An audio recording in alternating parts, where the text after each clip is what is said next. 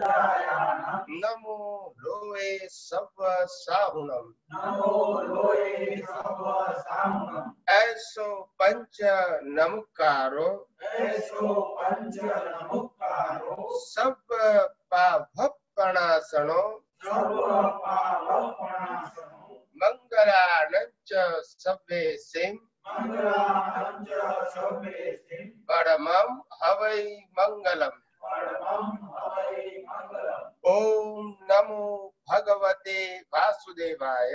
ओम नमो भगवते वासुदेवाय। ओम नमः शिवाय। ओम नमः शिवाय। जय सच्चिदानंद। जय सच्चिदानंद। प्रत्यक्ष दादा भगवान ने साक्षी है। प्रत्यक्ष दादा भगवान ने साक्षी है। વર્તમાને મહાવિજય ક્ષેત્રમાં વિચરતા તીર્થંકર ભગવાન શ્રી સિમંદર સ્વામીને તીર્થંકર ભગવાન શ્રી સિમંદર સ્વામીને અત્યંત ભક્તિપૂર્વક નમસ્કાર કરું છું અત્યંત ભક્તિપૂર્વક નમસ્કાર કરું છું વાત્સલ્ય મૂર્તિ શ્રી દાદા દાદા ભગવાનને. અત્યંત ભક્તિપૂર્વક નમસ્કાર કરું છું. તેત્રીસ કોટી દેવી દેવતાઓને. અત્યંત ભક્તિપૂર્વક નમસ્કાર કરું છું અત્યંત ભક્તિપૂર્વક નમસ્કાર કરું છું. વિતરાગ શાસન દેવ દેવીઓને ગુજરાત શાસન દેવ દેવીઓને અત્યંત ભક્તિપૂર્વક નમસ્કાર કરું છું અત્યંત ભક્તિપૂર્વક નમસ્કાર કરું છું નિષ્પક્ષપાતી શાસન દેવ દેવીઓને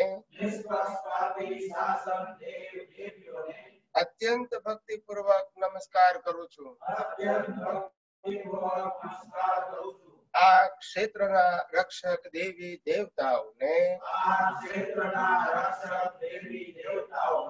અત્યંત ભક્તિપૂર્વક નમસ્કાર કરું છું.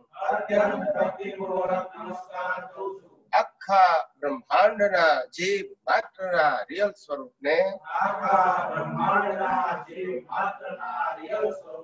અત્યંત ભક્તિપૂર્વક નમસ્કાર કરું છું અત્યંત ભક્તિપૂર્વક નમસ્કાર કરું છું. જગત ભરના સંત પુરુષોનું યોગ બળ જગત ભરના સત પુરુષોનું યોગ બળ અને પ્રગટ જ્ઞાની પુરુષ દાદા દાદા ભગવાનનું યોગ બળ સમસ્ત વિશ્વનું કલ્યાણ કરો કલ્યાણ કરો કલ્યાણ કરો.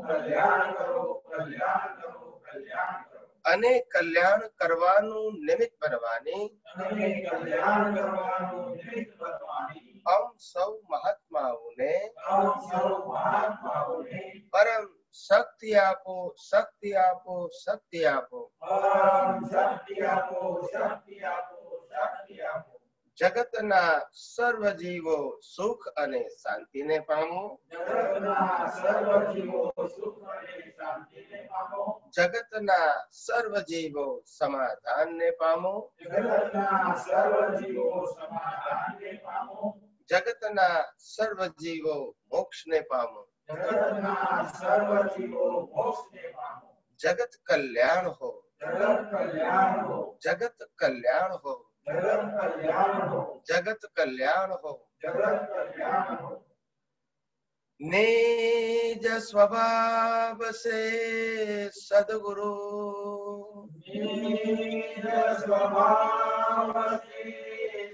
गुरु अगुरु लघु सर्वाग्न है। अगुरु लघु सर्वाग्न સૂક્ષ્મ તમ સિદ્ધ પરમ ગુરુ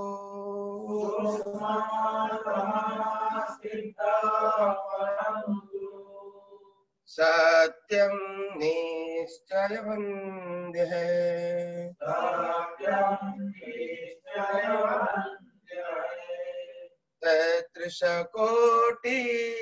जय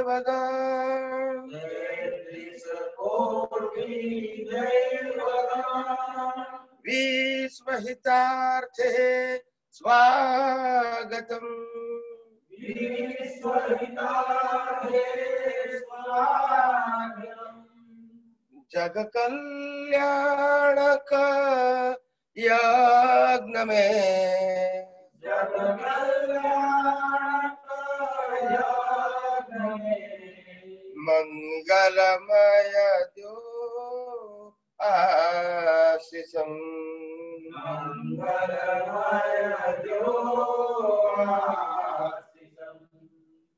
सिद्ध स्वरूपे मूर्तमोक्ष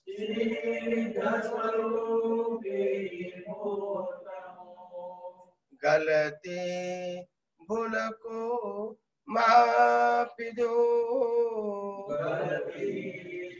को मापी दो व्यवहारे सद्बुद्धि हो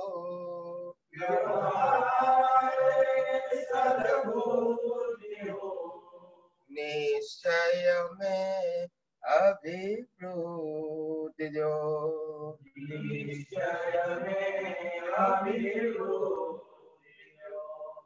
જય સચિદાનંદ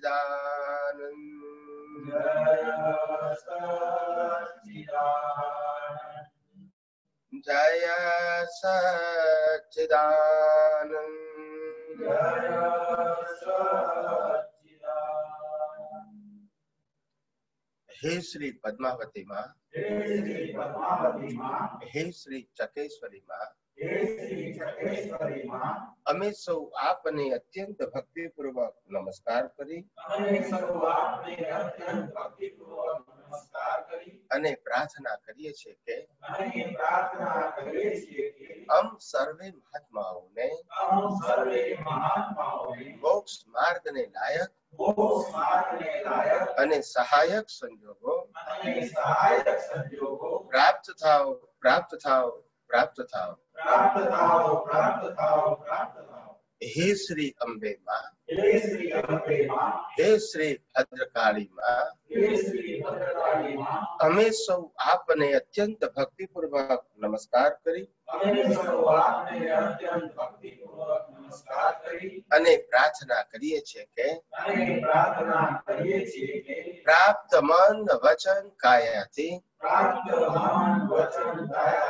આ જગતના કોઈ પણ જીવને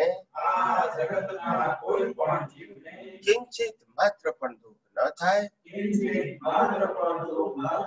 તેવી સ્યાદવાદ વાણી વર્તન અને સ્યાદવાદ મનન કરવાની પરમ શક્તિ આપો. જય સચ્ચિદાનંદ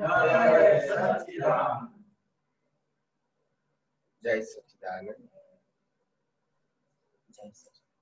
જય સચ્ચિદાનંદ સર્વે મહાત્માઓને જય સચ્ચિદાનંદ જય સચ્ચિદાનંદ જય સચ્ચિદાનંદ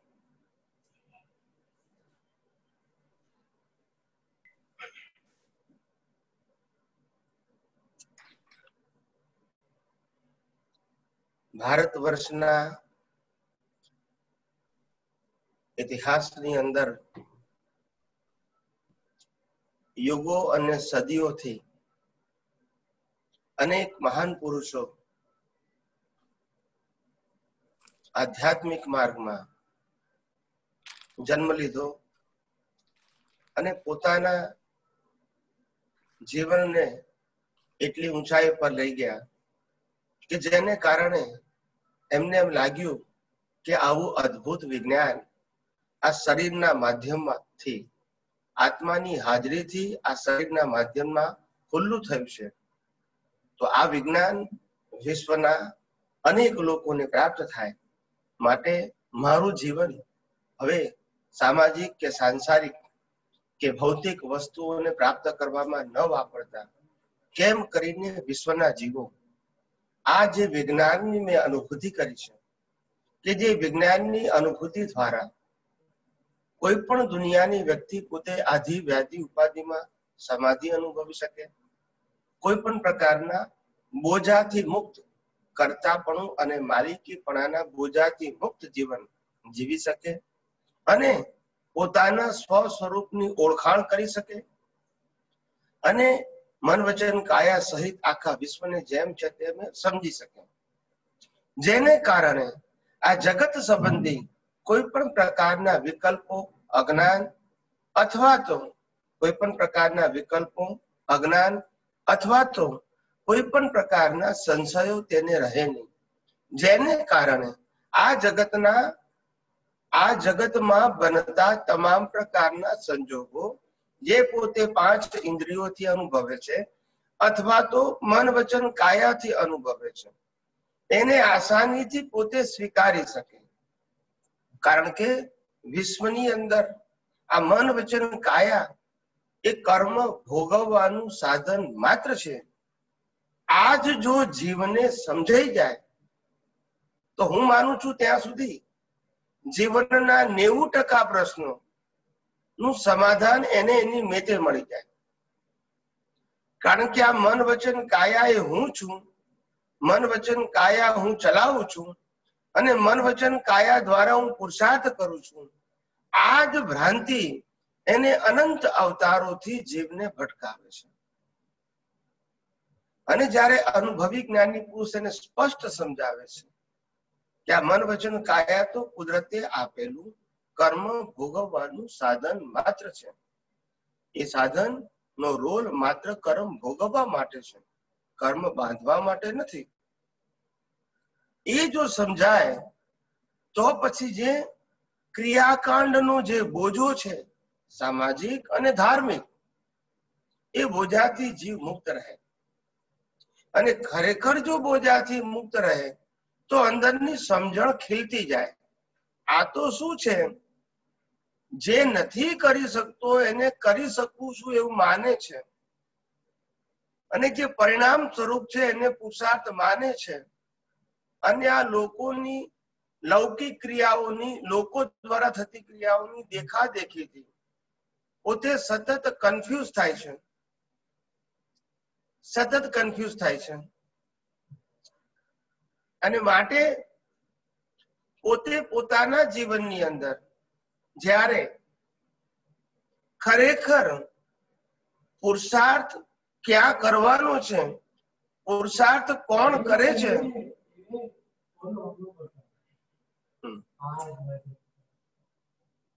અને પોતે મન વચન કાયા એ પુરુષાર્થ કોણ કરે છે એ જ એને ખબર નથી પુરુષાર્થ શું કરવાનો એ જ એને ખબર નથી પુરુષાર્થ એટલે શું, એ પણ ખબર નથી। હિન્દુસ્તાનની અંદર કોઈને ખબર નથી કે પુરુષાર્થ એ મન વચન કાયાની ક્રિયાનો સબ્જેક્ટ જ નથી. કારણ કે મન, વચન, કાયાની અવસ્થા માત્ર કુદરતી રચના છે. તો પછી મન, વચન, કાયા દ્વારા થતી કોઈ પણ પ્રકારની ક્રિયા હોય, સામાજિક, ધાર્મિક, ગમે તે હોય, એને પુરુષાર્થ ટાઇટલ કેવી રીતે લાગે? આ કેટલી મોટી બ્લન્ડર છે. કે જે બ્લન્ડર ને કારણે લોકો કોમ્પિટિશન અને કમ્પેરિઝનમાંથી બહાર જ નીકળતા નથી. અને વાસ્તવિકતાની પુરુષાર્થની દ્રષ્ટિ એની ત્યાં પહોંચતી જ નથી. અને પછી પોતે બહારની ક્રિયાકાંડમાં એટલો બધો ઊંડો ઉતરી જાય છે કે અંદર પોતાની ભાવ સત્તા બગાડે છે. હરીફાઈને કારણે, ઈર્ષ્યાને કારણે. માટે આવું અદ્ભુત વિજ્ઞાન આપણને બધાને જ્યારે સમજવા મળ્યું છે, કુદરતી રીતે ઉપયોગ કરવા મળ્યું છે, અનુભવ કરવા પણ મળ્યું છે તો જે રીતે આપણે મુક્તતાની અનુભૂતિ કરીએ છીએ, આવો આપણે સૌ પણ આપણા જીવનનો કેટલોક ભાગ વિશ્વના લોકોને આ વિજ્ઞાન જેમ છે તેમ પહોંચાડવા માટે, સમજાવવા માટે યથાયોગ્ય પ્રયાસ કરીએ અને આપણું જીવન જે છે એને પવિત્ર બનાવવા પ્રયત્ન કરીએ. તો આવો આપણે સૌ ફરીથી આજ આધ્યાત્મ વિજ્ઞાનને ઊંડાણથી સમજવા પ્રયત્ન કરીએ અને આપણા પ્રશ્ન અને કન્ફ્યુઝનનું સમાધાન મેળવીએ. એ જ આપ સર્વને શુભેચ્છા. જય સચ્ચિદાનંદ. જય સચ્ચિદાનંદ સ્વામીજી. જય જય સચ્ચિદાનંદ. સચ્ચિદાનંદ જય સચિદાનંદ સ્વામીજી પ્રશ્ન છે મારા બે ત્રણ.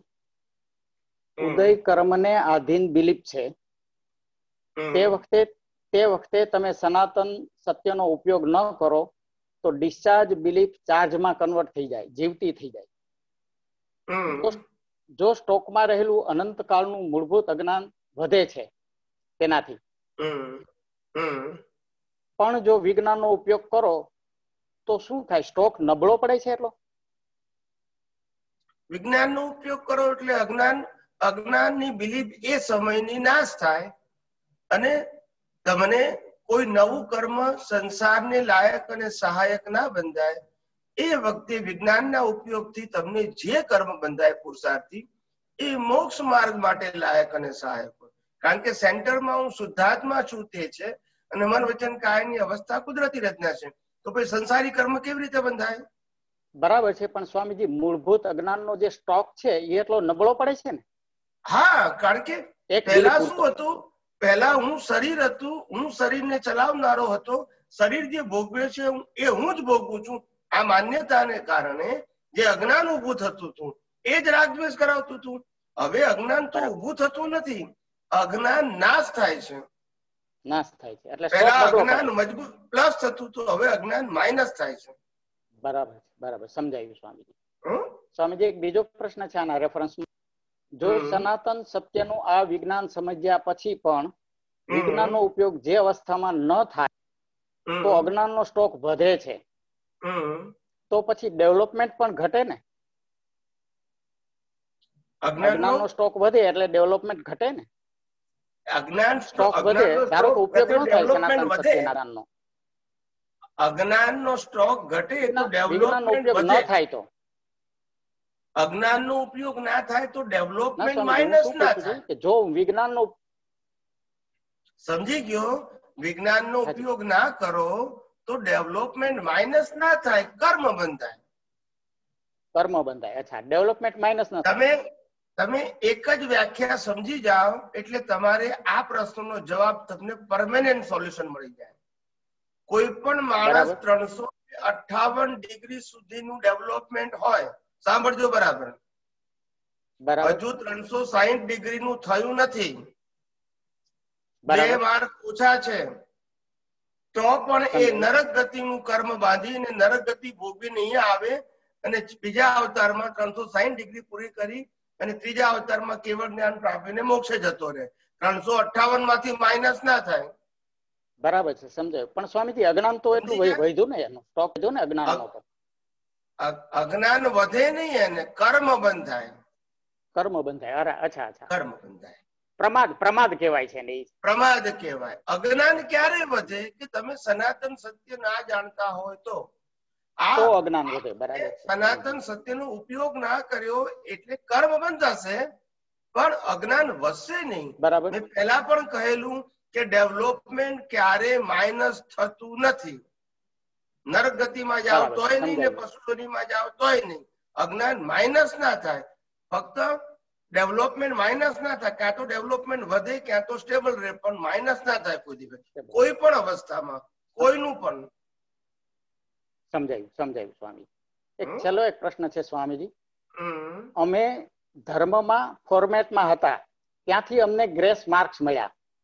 જમ્પ લાગ્યો. અને તેથી અમને આ સનાતન વિજ્ઞાન મળ્યું.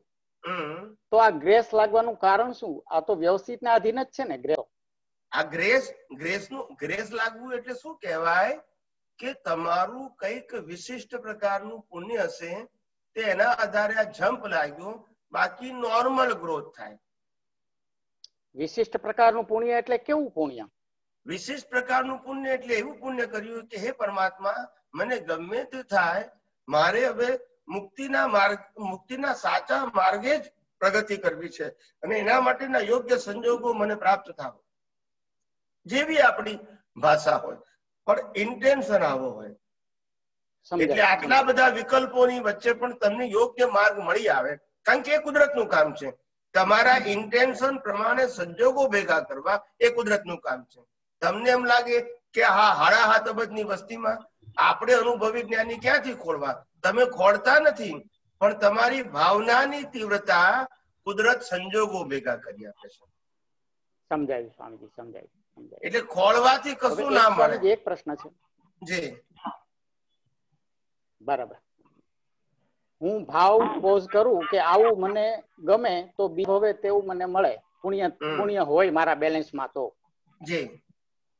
અને ગમે મને ગમે તેવી ઇફેક્ટ અથવા તો ભોગવટો ઊભો થાય. પણ હું ભાવ કોષ કરું એવા કે આવી વસ્તુ કે આવી વ્યક્તિ મને ન ગમે તો તેવી વ્યક્તિ મને બીજા ભવે ઇફેક્ટ રૂપે ન ભેગી થાય. બરાબર છે? ના એટલે એવું છે કે ના ના મળે એવું કહેવાથી ના મળે એવું ના બને. એની સાથે રાગ દ્વેષ હિસાબ ના હોય તો ના મળે. નહીં મેં ભાવ કરેલો હોય કે આવી પરિસ્થિતિ મારે ન જોઈએ એમ. પરિસ્થિતિ એ બરાબર છે. વ્યક્તિનો વ્યક્તિ તો વ્યક્તિ સાથે હોય ધારો કે કર્મના હિસાબ સાથે. તમે એમ કહો કે મારે આવી આ પ્રકારની પ્રકૃતિ ના જોઈએ તો એમાં વ્યક્તિ ના એ પ્રકૃતિ જોઈએ. એટલે એવા પ્રકૃતિ એવી પ્રકૃતિ બંધાય નહીં એટલે પ્રકૃતિને અનુરૂપ સંજોગો પણ ભેગા ના થાય. જેમ આજે પ્રકૃતિ અતિ ક્રોધ કરતી હોય હવે ક્રોધ એ તો ઉદય કર્મ છે. પણ હે પરમાત્મા મારી પ્રકૃતિ આવી ન હોવી ઘટે.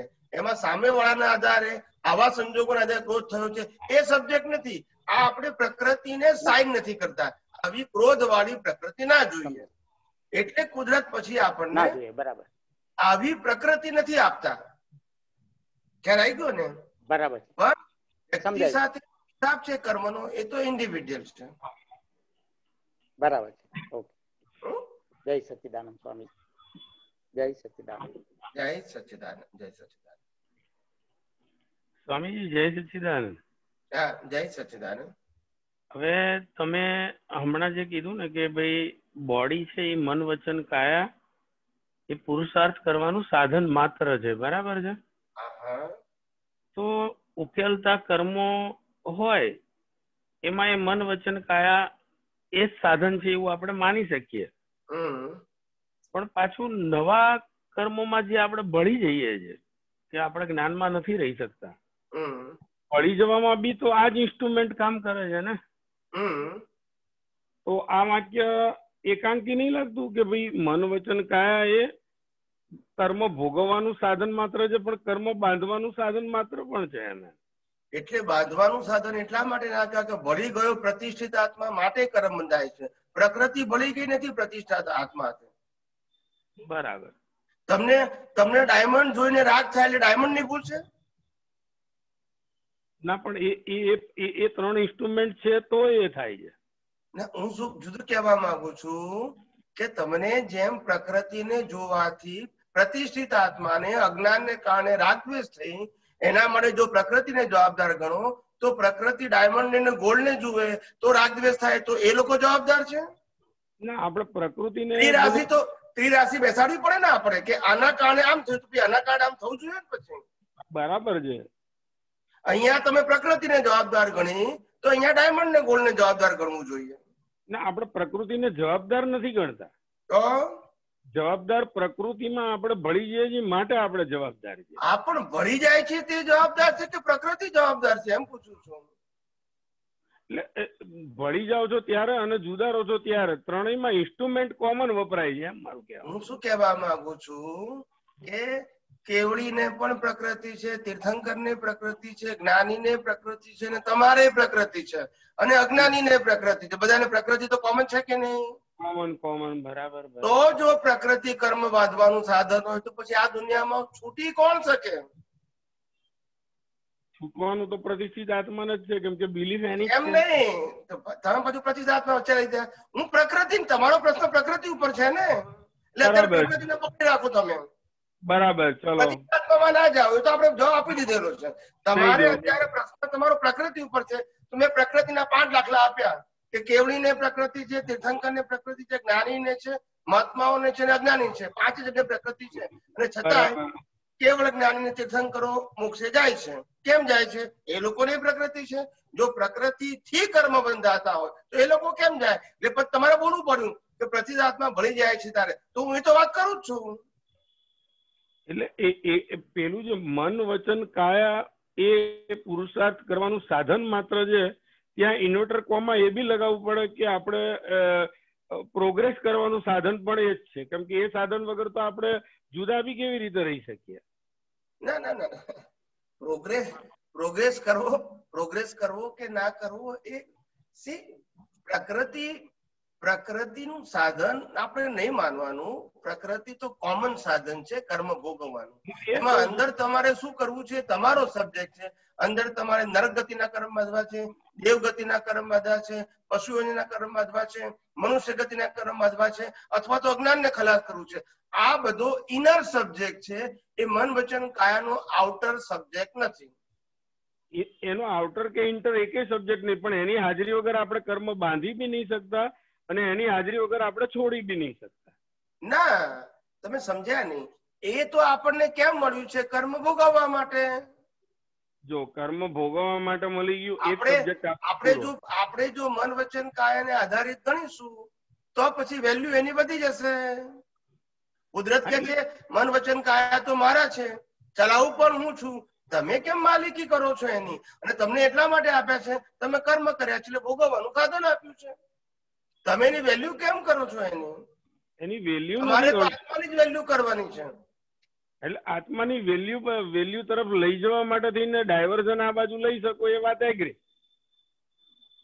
એટલે એટલે આ તો આ કેવું છે કે જેમ મારે જેલમાં જવું પડે પણ જેલમાં જવાનો મને આનંદ ના હોય. એમ આ મન વચન કાયરૂપી જેલ છે એ કર્મ ભોગવવાનું બંધનનું સાધન છે. આપણને જેલમાં રસ નથી. કોઈ જેલમાં ભલે હાવો સારું ખાવા પીવાનું આપે બધી અનુકૂળ મળે. પણ આપણો પુરુષાર્થનું સેન્ટર પ્રતિષ્ઠિત આત્મા છે અને પુરુષાર્થનું સેન્ટરની અંદર એ પ્રતિષ્ઠિત આત્માનું સેન્ટર છે મૂળ આત્મા અને બાકી બધું કુદરતી રચના.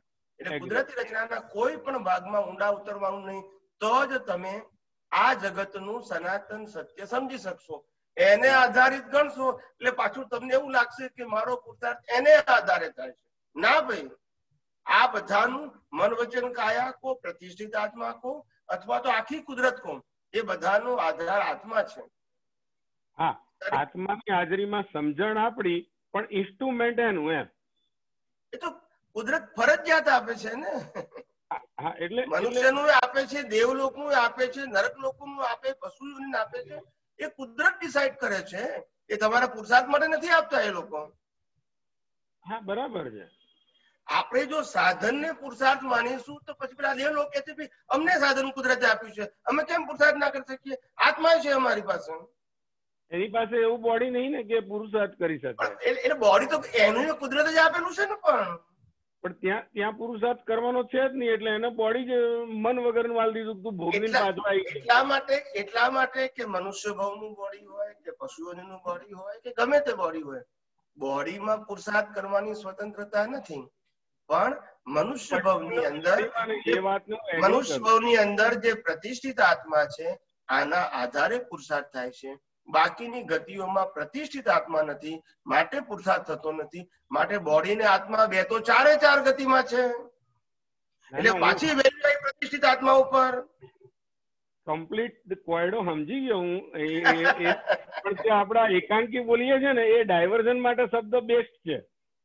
આપણે એકાંકી એમ જ બોલાય આને જ સિદ્ધાંત કહેવાય. જ્ઞાની પુરુષ દાદા ભગવાને પણ આ જ કીધું કે મન વચન કાયા એ પર છે અને પરાધીન છે. મન વચન કાયની અવસ્થા માત્ર કુદરતી રચના છે. આ કુદરતી રચના કીધું એટલે શું થયું? આપણી સત્તા રહી તો પછી પુરુષાર્થ શબ્દ કઈ રીતે લાગુ પડે? ના એને પુરુષાર્થ નથી પણ એ એ ઇન્સ્ટ્રુમેન્ટથી આપણે પુરુષાર્થ મનથી કરી શકીએ છીએ જુદા રહેવાનું. હું સમજી ગયો એટલે પણ આપણે કોઈ પણ ભોગે મન વચન કાયાને પુરુષાર્થનું સાધન કોઈ પણ એંગલથી ના માની શકાય એમ કહું છું. હા એગ્રી ચલો. હમ. નહીતર પછી પઝલ ઉભું થાય પછી કુદરતી રચના ના કહેવાય એને. પછી આપણે કે પુરુષાર્થ કરવાનું સાધન છે એવું બોલવું પડે આપણે. ના એ સમજણ આવી ગયા પછી આ જવાબ બરાબર છે પણ પહેલી વાર ધકેલવા માટે તમારો જવાબ બરાબર છે. પછી તો તમે શું કે મેચ્યોર થઈ ગયા પછી તો તમને એ- સહારો લેવાની ક્યાં જરૂરત છે અચ્છા હવે હું એક અનુભવ તમને બે ત્રણ મિનિટનો છે કહી દઉં આગળ મારા ખ્યાલથી લાઈનમાં કોઈ છે નહીં. સારું બોલો બોલો. અચ્છા હમણાં અમારે એક બિયોન તકલીફ થઈ કે ભાઈ મારા જીજાજી ગુજરી ગયા કે અમારા સાસુ ગુજરી ગયા. એમાં અનબેલેન્સ અનસ્ટેબલ પ્રસંગો આવી ગયા બરાબર છે? પ્રસંગો વગર તો આપણે અનુભવ કરી નહીં શકતા. બરાબર. એમાં સામાજિક વ્યવહારો ને સામાજિક વાર્તાલાપ ને એ બધું બી થતું હોય એ કઈ આપણો વિષય છે નહીં. પણ મૂળ મૂળ એ ટાઈમે મારી જોડે જે સંઘર્ષ થયો એમાં એમાં મને ત્રણ રોલ દેખાયા. ત્રણ રોલ એટલે કે એક કે હું શુદ્ધાત્મા છું એક એ મારું પદ અવિરતપણે લક્ષ્ય છે એ. અને એક એ જોવાનો હંમેશા પ્રયત્ન કરું કે જેવો હું નિર્દોષ છું એવી સામી વ્યક્તિ બી નિર્દોષ છે. પણ પણ એ ટકાવારી વધઘટ થાય. કેમ કે જેવો પેલાનો ફ્લો વધારે હોય ને તો મારો ફ્લો ઘટી જાય. પણ પાછું બે મિનિટ રહીને જવા દો ને યાર. સમજી જાઓ ને? એટલે એ રીતે ટકાવારી મુજબ જ હવે ધારો કે જેટલા ટકા હું ન રહી શક્યો એનું કેરી ફોરવર્ડ થયું. તો એ જે કર્મ ટૂંકમાં એકનું એક કર્મ એની ગ્રેવિટી ઘટાડીને પતતું હોય છે કે હંડ્રેડ પર્સન્ટ રહેવો તો જ પતે. હું. સમજવા એવું માંગુ છું કે જે અમારા પ્રસંગો બન્યા એમાં હું એસી ટકા રહી ગયો પણ જે વીસ ટકા કાચું રહ્યું ફરીથી એનો એ જ એવો પ્રસંગ આવે જેમાં મારે વીસ ટકા જ પાકું કરવાનું આવે એ હંડ્રેડ પર્સન્ટ રોલ ફરીથી આવે. બરાબર છે. એટલે તો જ્ઞાન દર્શન તમારું જ્ઞાન દર્શન પાકું કરવું પડશે તમારે. જ્યારે ફરીથી સંજોગ આવશે ત્યારે. પણ ત્યારે બી જે નહીં રહી શક્યા એટલો જ પાર્ટ આવે કે કમ્પ્લીટ એ જ ફ્લો વાળો આવે. પ્રસંગ તો આખો જ આવે. તમારું જાગૃતિ એસી ટકા છે એની તમારે સો ટકા કરવી પડે બસ. તો પછી કામની નિજરા થઈ જાય. અચ્છા અચ્છા. એટલે અત્યારે જે હું વીસ ટકા કાચો રહ્યો છું અને જે પાછળથી પાકું થયું છે અને આપણે ગિલ્ટી ફીલ નથી કરતા તો નેક્સ્ટમાં એ જ હું પ્રસંગ તમે હંડ્રેડ પર્સન્ટ ક્વેરીથી નીકાળી શકો. એવી વાત થઈ ને? હા એટલે આવો પ્રસંગ આવ્યો એવું નહીં પણ જે કચાસ વખતે જેવા બીજ પડી ગયા હોય એવો પ્રસંગ આવશે પણ તમારે સો ટકા તમારું જ્ઞાન દર્શન હાજર રહેશે. પ્રસંગ કેવો આવે એ ઇમ્પોર્ટન્ટ નથી. પ્રસંગમાં જ્ઞાન અને દર્શન સમ્યક જ્ઞાન ને સમ્યક દર્શન સો ટકા હાજર રહે એટલે પ્રસંગ ખરી પડ્યો પતી ગયો. ટૂંકમાં તો આનાથી મને એવો અનુભવ થયો કે ભાઈ તમને કોઈ પણ જીવનમાં બનતા બનાવો હોય એમાં તમને ધીરે ધીરે ગ્રેવિટીથી તમારું કર્મ ઘટે છે અને ધીરે ધીરે ટકાવારી ડિગ્રીથી તમારું જ્ઞાન પાકું થાય છે. એવું જ સમજવું પડે ને આમાં જી જી જી. Okay sir okay. જય સચિદાન. જય સચ્ચિદાનંદ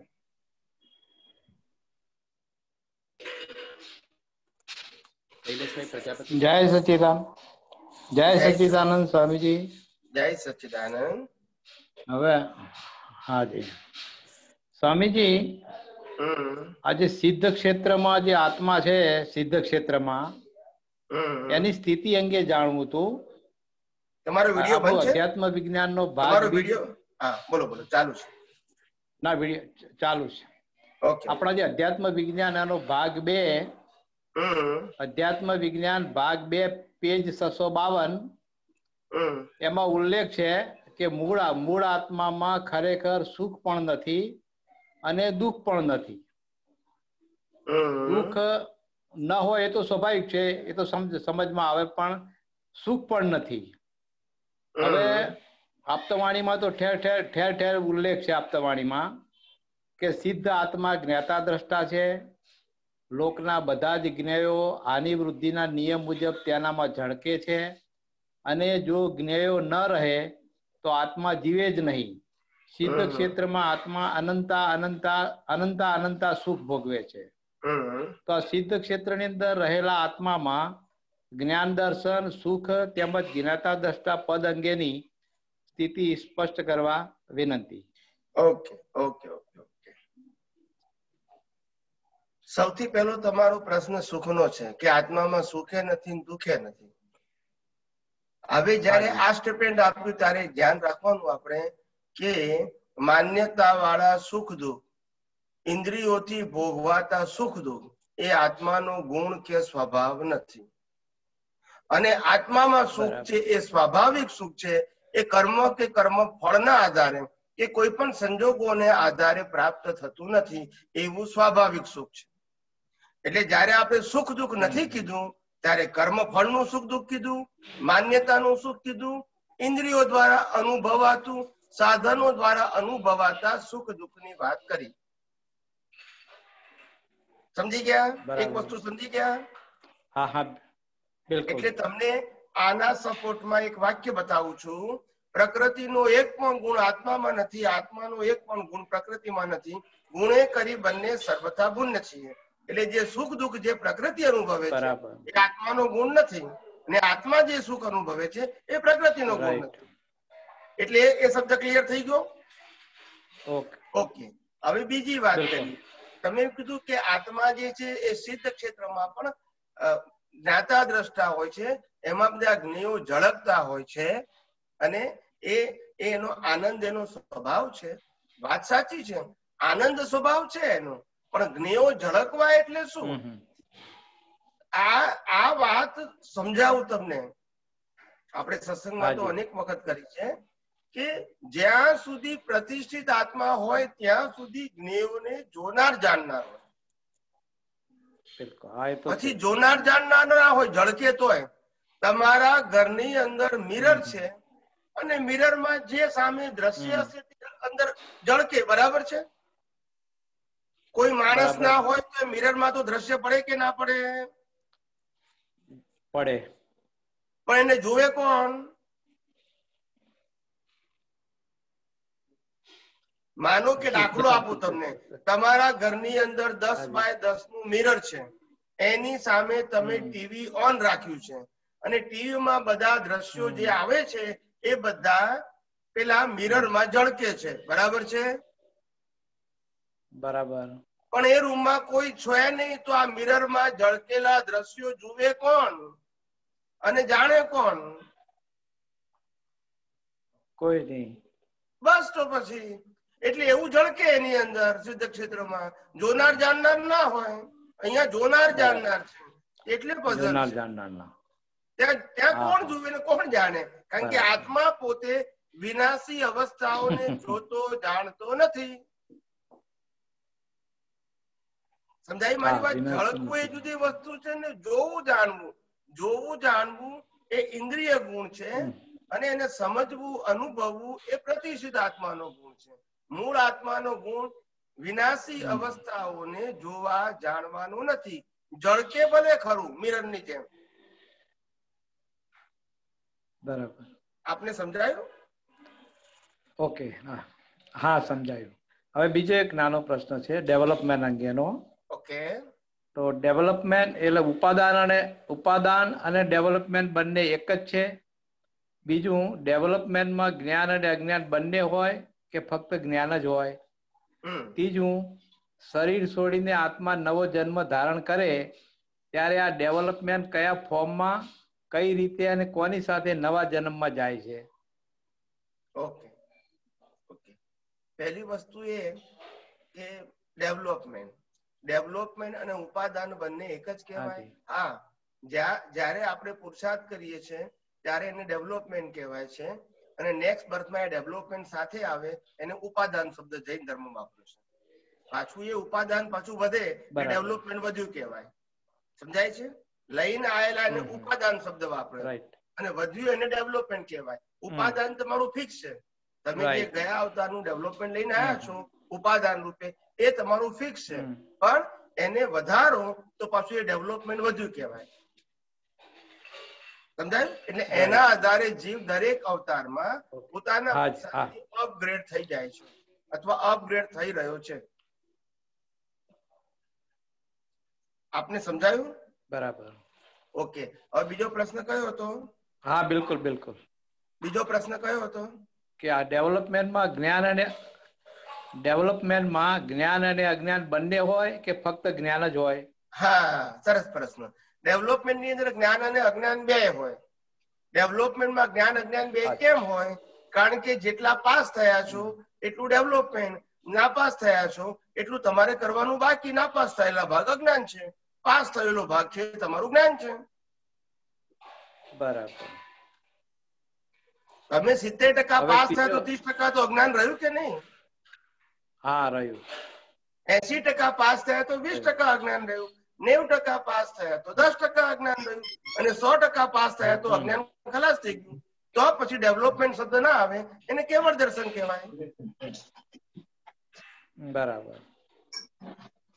એનો ડેવલપમેન્ટમાં અજ્ઞાન અજ્ઞાન પણ હોય અને જ્ઞાન જ્ઞાનની પ્રક્રિયા અને અજ્ઞાન બંને હોય એમ બંને હોય કારણ કે ડેવલપમેન્ટ નો મતલબ શું છે કે તમે હજુ અજ્ઞાન સંપૂર્ણ નાશ કરી શક્યા નથી. ત્યાં સુધી ડેવલપમેન્ટ શબ્દ વપરાય.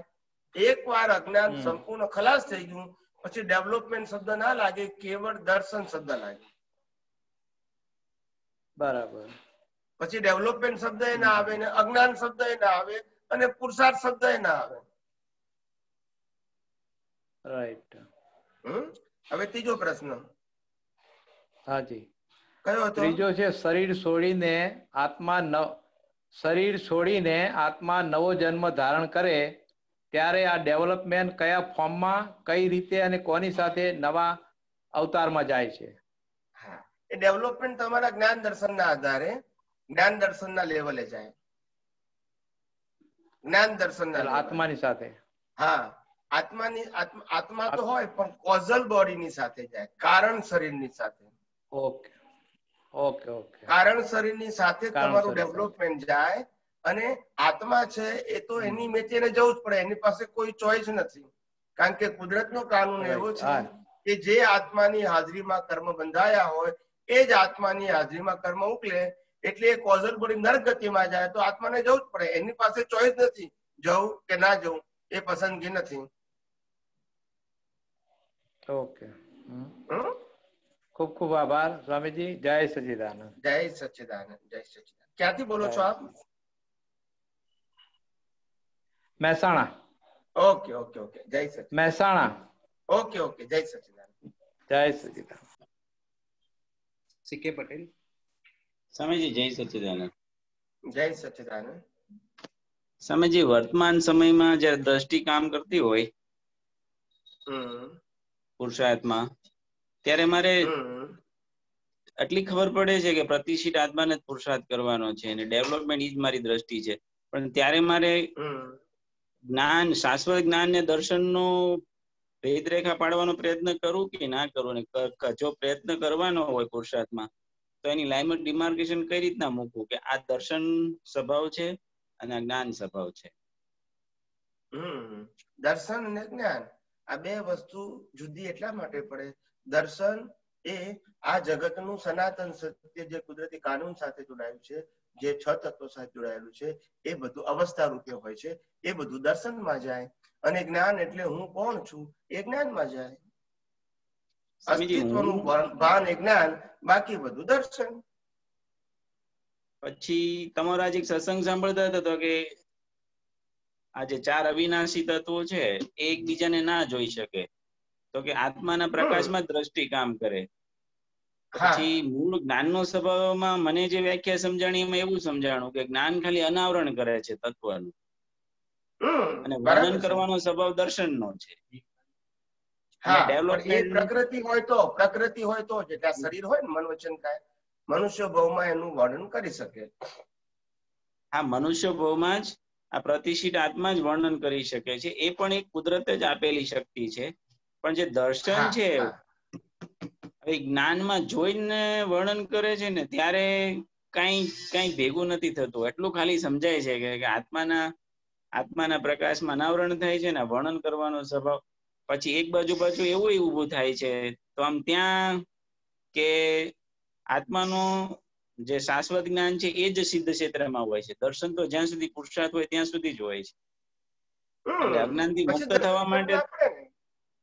તો પછી શાશ્વત દર્શન કઈ રીતના આમ એક્ઝેક્ટલી થોડુંક જ્ઞાન ઉપર થોડુંક આપણને એની વેલ્યુની સમજણ પડવા મળી. પણ દર્શન સ્વભાવ પરમાનન્ટ છે શાશ્વત છે એક બાજુ વર્તમાનમાં તો એમાં ત્યાં કઈ ભેગું નથી થતું મને. હું કઈ અંદર થિંકિંગ કરું છું ને તો.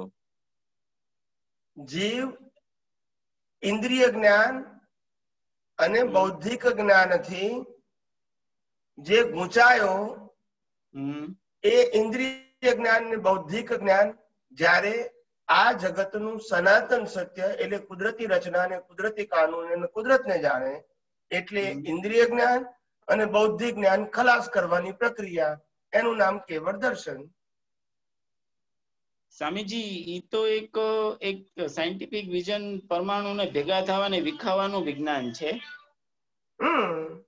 એમાં જે દર્શન છે તો શાશ્વત સ્વભાવ છે એને મારે કઈ રીતના એટલે દર્શન સ્વભાવ એટલે વિજ્ઞાન વિજ્ઞાન એને દર્શન કહું કે પછી આ જે પ્રોસેસ બટ નેચરલ થઈ રહી છે એને આમ કઈ રીતના આખી પ્રોસેસ ને હું જોઉં છું દર્શન દર્શન શબ્દ જે વાપરવામાં આવ્યો છે ને એ દર્શન શબ્દને આત્માના જ્ઞાન પ્રકાશના ઉપયોગના સંદર્ભમાં વાપરવામાં આવ્યો છે. જ્ઞાન પ્રકાશનો ઉપયોગ એનું નામ દર્શન. હવે એ દર્શન જ્યારે એકેન્દ્રિયમાં આવે ત્યારે એક ઇન્દ્રિય દ્વારા વપરાય છે. બે, ત્રણ, ચાર, પાંચ એટલે પંચેન્દ્રિય સુધી ઇન્દ્રિય જ્ઞાનના વિકાસમાં એ દર્શન વપરાય છે. પછી મનુષ્યમાં આવે છે ત્યારે ઇન્દ્રિય જ્ઞાન વધતા બૌદ્ધિક બુદ્ધિ એ રીતે દર્શન વપરાય છે. અને ત્યાર પછી ખબર પડે છે કે ખરેખર દર્શન શબ્દ છે, એ આ જગતના સનાતન સત્યને સમજવા માટે છે. નહીં કે ઇન્દ્રિય અથવા બૌદ્ધિક જ્ઞાનને સમજવા માટે. અને એ નતો સમજ્યો ત્યાં સુધી મારે આટલા અવતારો ભટકવા પડ્યા. એટલે પેલું મિથ્યા દર્શન હતું. એ હવે જ્યારે આ કુદરત, કુદરતી કાનૂન અને કુદરતી રચના સમજાય, એમ એમ તમારું દર્શન સમ્યક થતું જાય છે. અને જ્યારે સમ્યક થતા થતા, જ્યારે સંપૂર્ણપણે અજ્ઞાન ખલાસ થઈ જાય ત્યારે સંપૂર્ણ સમ્યક દર્શનને આપણે કેવળ દર્શન કહીએ છીએ. હવે કેવળ દર્શન થયું એટલે પ્રતિષ્ઠિત આત્મા જે પુરુષાર્થ કરનારો હતો, એનું અસ્તિત્વ ખલાસ થઈ ગયું. હવે છેલ્લા અવતારમાં તો દર્શનની જરૂર જ નથી. કારણ કે પ્રતિષ્ઠિત આત્મા જ નથી. તો પછી હવે શું કરવાનું? તો કે આત્મા અને પ્રકૃતિ. પ્રકૃતિ તો કુદરતી રચનાને આધારે છે. હવે આત્માના પ્રકાશનો ઉપયોગ કરનારો કોઈ છે જ નહીં. આત્મા એના સ્વભાવમાં પ્રકૃતિ એના સ્વભાવમાં પ્રકૃતિનો એન્ડ આવે આત્મા મોક્ષે જાય. સ્વામીજી સમ્યક દર્શનની વ્યાખ્યા એવું સમજુ કે જ્યારે હું પેરેલલ કંઈક આખું આખું વિજ્ઞાનની બધી અવસ્થાઓને થી જોતો હોઉં તો મને કોઈ પણ જગ્યાએ રાગ દ્વેષ ના થાય અને મારી સ્થિરતા રહે મારી મારા લાઈવ ઈગોની સ્થિરતા રહે એને હું સમ્યક દર્શન હંડ્રેડ પર્સન્ટ સમજુ એવું કહી શકાય ને સમ્યક દર્શનની વ્યાખ્યા? હા. પણ તમારા લાઈવ લાઈવ ઈગોની સ્થિરતા ક્યારે રહે કે જ્યારે આત્માનું લક્ષ હોય? અને આ જગત જો જેમ છે તેમ કુદરતી રચના તરીકે સમજાય તો ઓટોમેટિક દર્શનમાં સ્થિરતા આવે. દર્શનની સ્થિરતા એને સમ્યક દર્શન કહું ને? હા.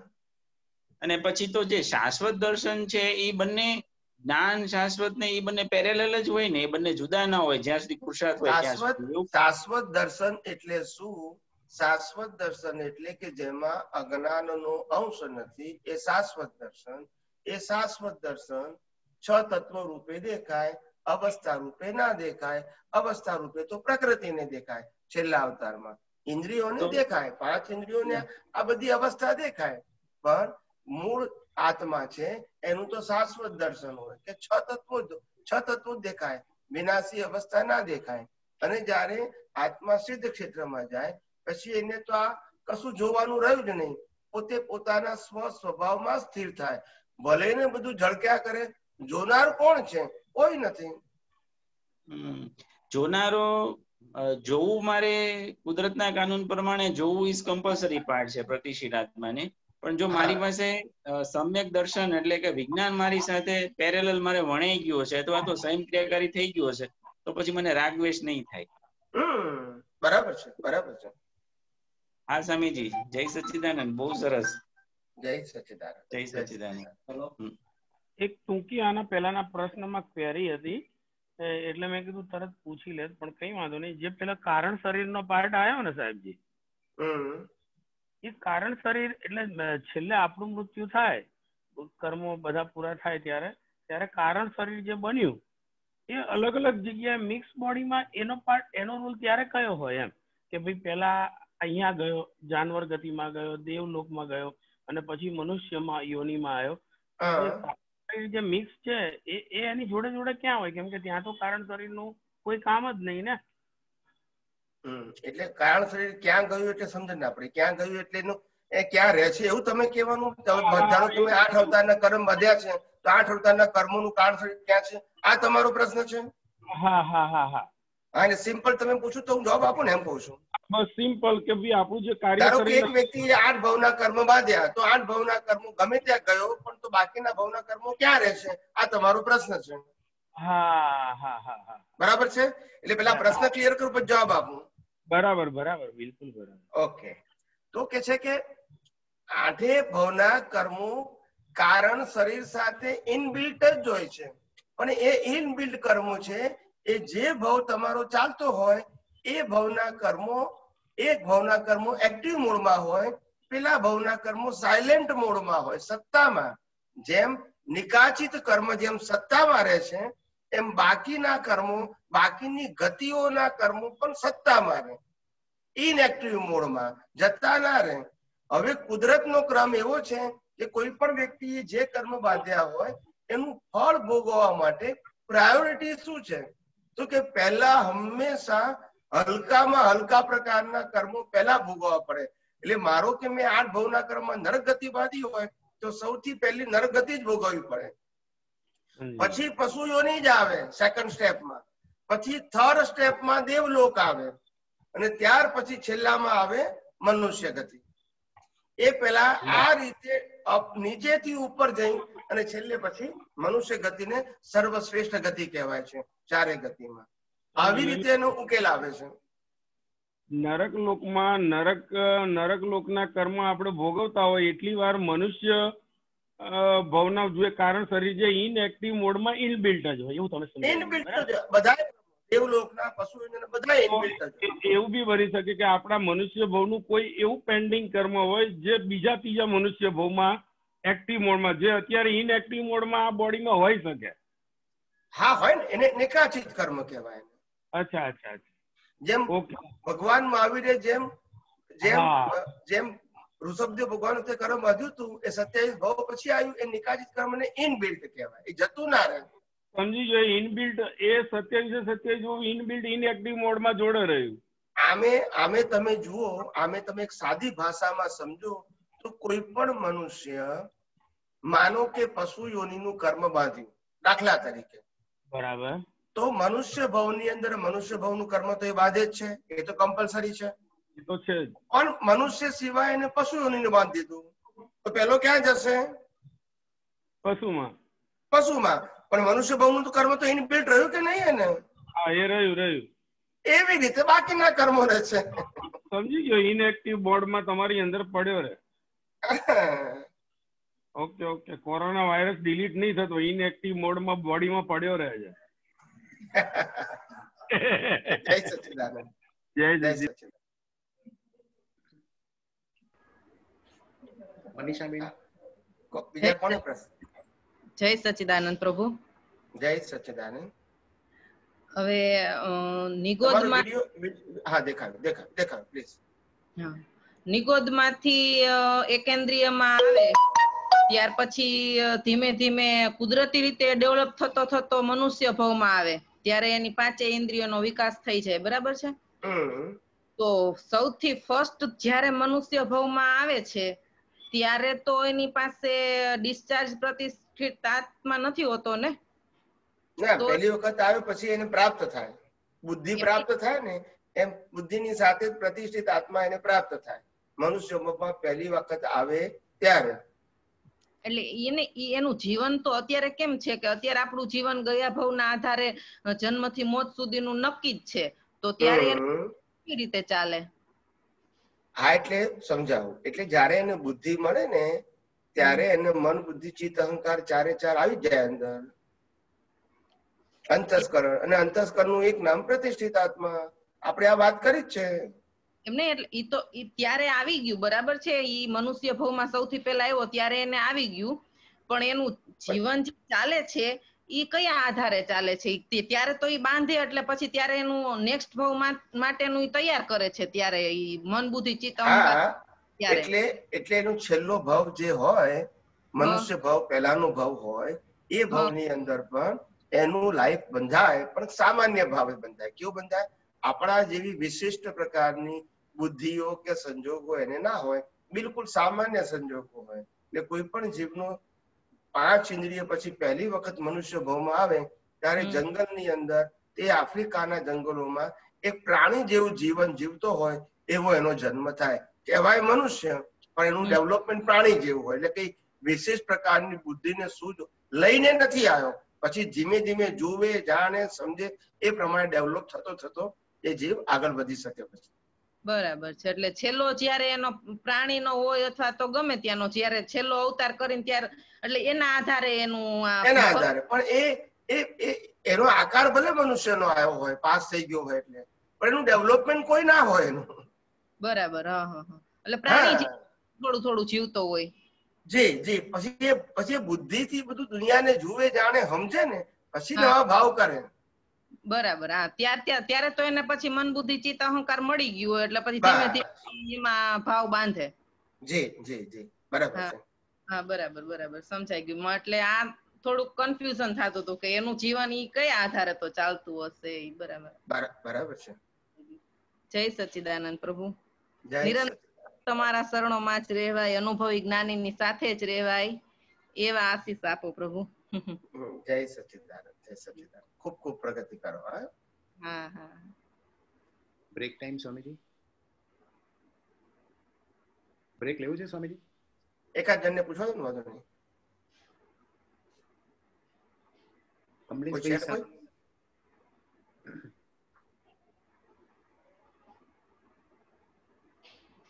જય સચિદાન સ્વામીજી જય સચિદાન સ્વામી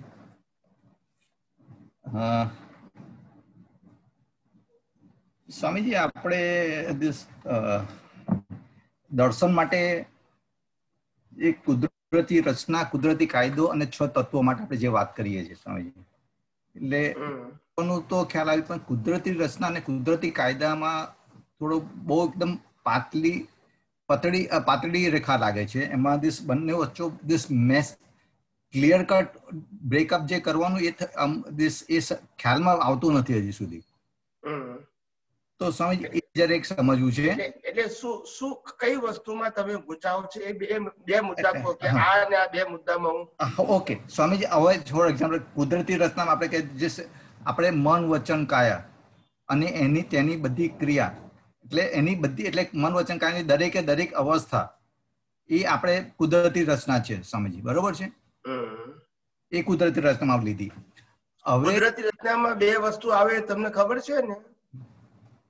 સહજ કુદરત અને અસહજ કુદરત તમને હા એ બરોબર. હા એ બરોબર. એ એટલે તમે કુદરતી રચનામાં કેટલી વસ્તુ આવે તમને ખબર પડી જવી જોઈએ. હવે હું. મને પ્રશ્ન પૂછું. એટલે. હા એટલે એ બે વસ્તુ.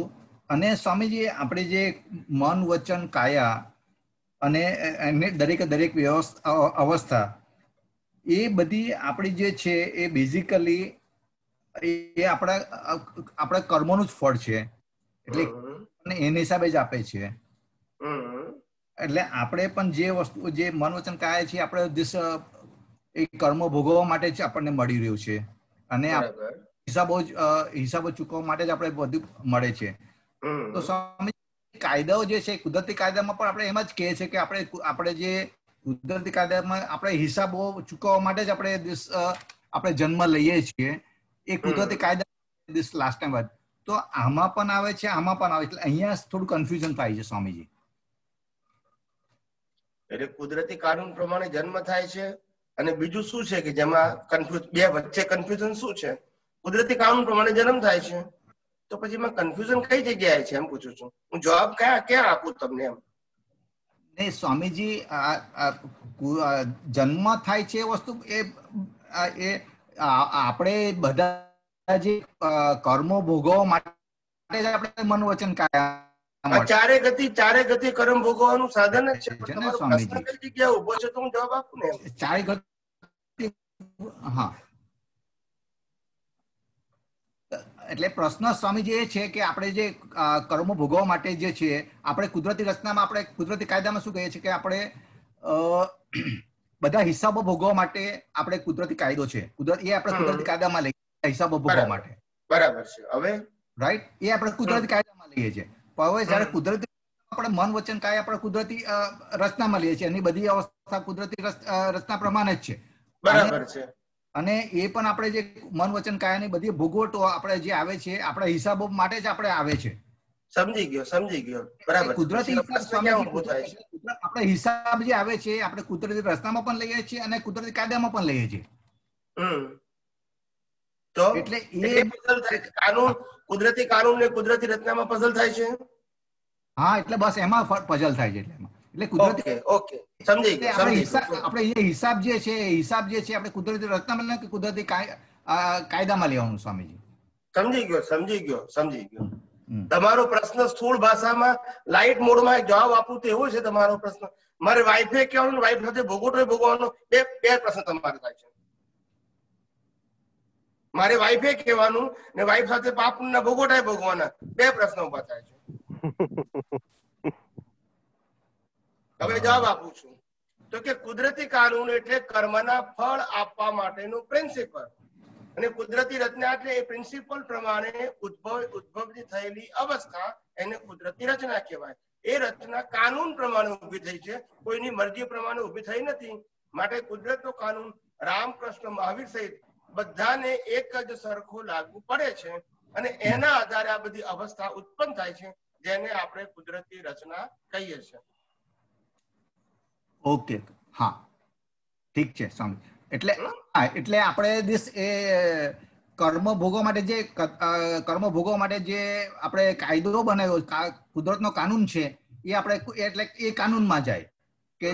એ કર્મો જે જે પણ ગતિ મળે છે એના પોતાના જે કર્મો હોય છે એ પ્રમાણે એની ગતિ મળે છે. એ આપણે કાનૂનમાં જાય. બરોબર? એટલે કર્મ કર્મ પ્રમાણે ગતિ મળે કર્મ અને કુદરતના કાનૂન પ્રમાણે જેને કર્મ કર્મની ગતિ કાનૂન પ્રમાણે નક્કી થાય છે અને સંજોગો બધા પણ કાનૂન પ્રમાણે નક્કી થાય છે.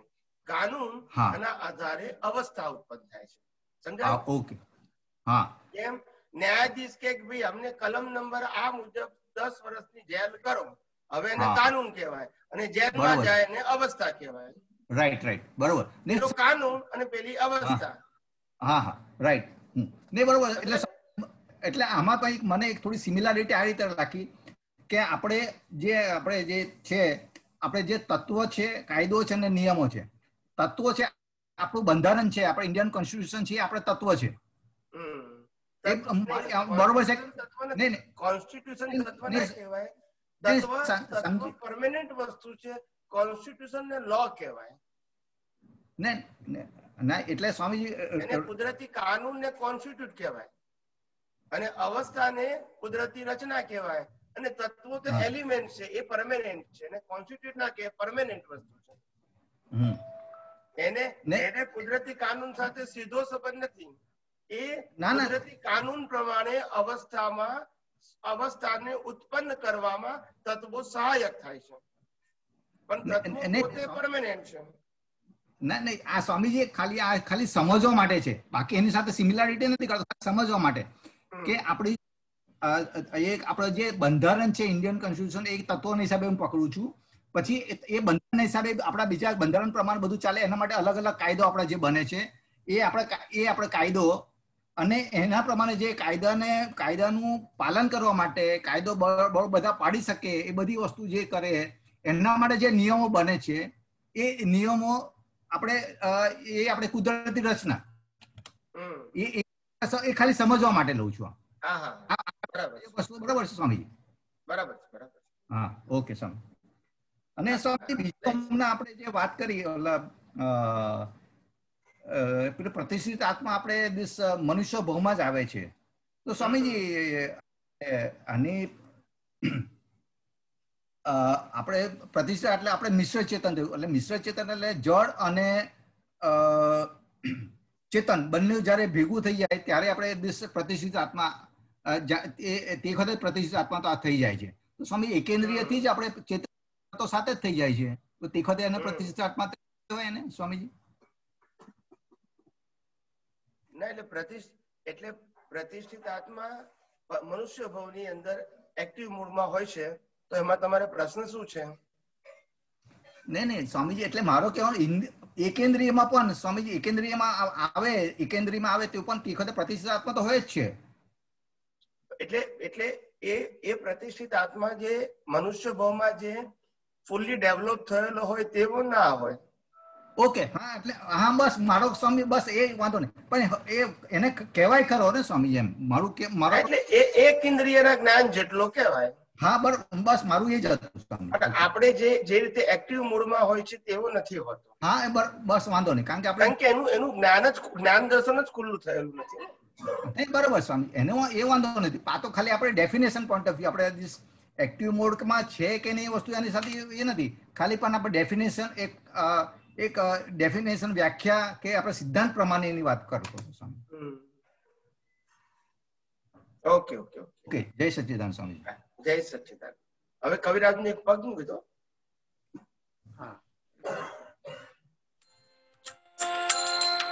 જય સચિદાનંદ. જય સચ્ચિદાન હા. સ્વામી મારો પ્રશ્ન છે પ્રતિષ્ઠિત આત્મા અંગે. પ્રતિષ્ઠિત આત્મામાં મન બુદ્ધિ ચિત્ત અહંકાર નો સમાવેશ થાય છે બરાબર છે? હવે દાદા એવું કહે છે કે પ્રતિષ્ઠિત આત્મા એટલો બધો શુદ્ધ છે કે તે વિચાર ન કરી શકે. પ્રતિષ્ઠિત આત્મા જો વિચાર કરી શકતો હોત તો બુદ્ધિ જ ના રહે. ચાર્જિંગ પ્રતિષ્ઠિત આત્મામાં આ બધી વસ્તુ સમાયેલી છે તો પછી વિચાર કરવાનો પાઠ તો એમાં આવે ને? આવે આવે ને. એ હવે કયા એંગલથી કીધું હશે મને ખબર નહીં. રેફરન્સ આપવો પડે. બાકી પ્રતિષ્ઠિત આત્મા માં મન બુદ્ધિ ચિત્ત અહંકાર આપતો વાણી પહેલીમાં લખેલું જ છે.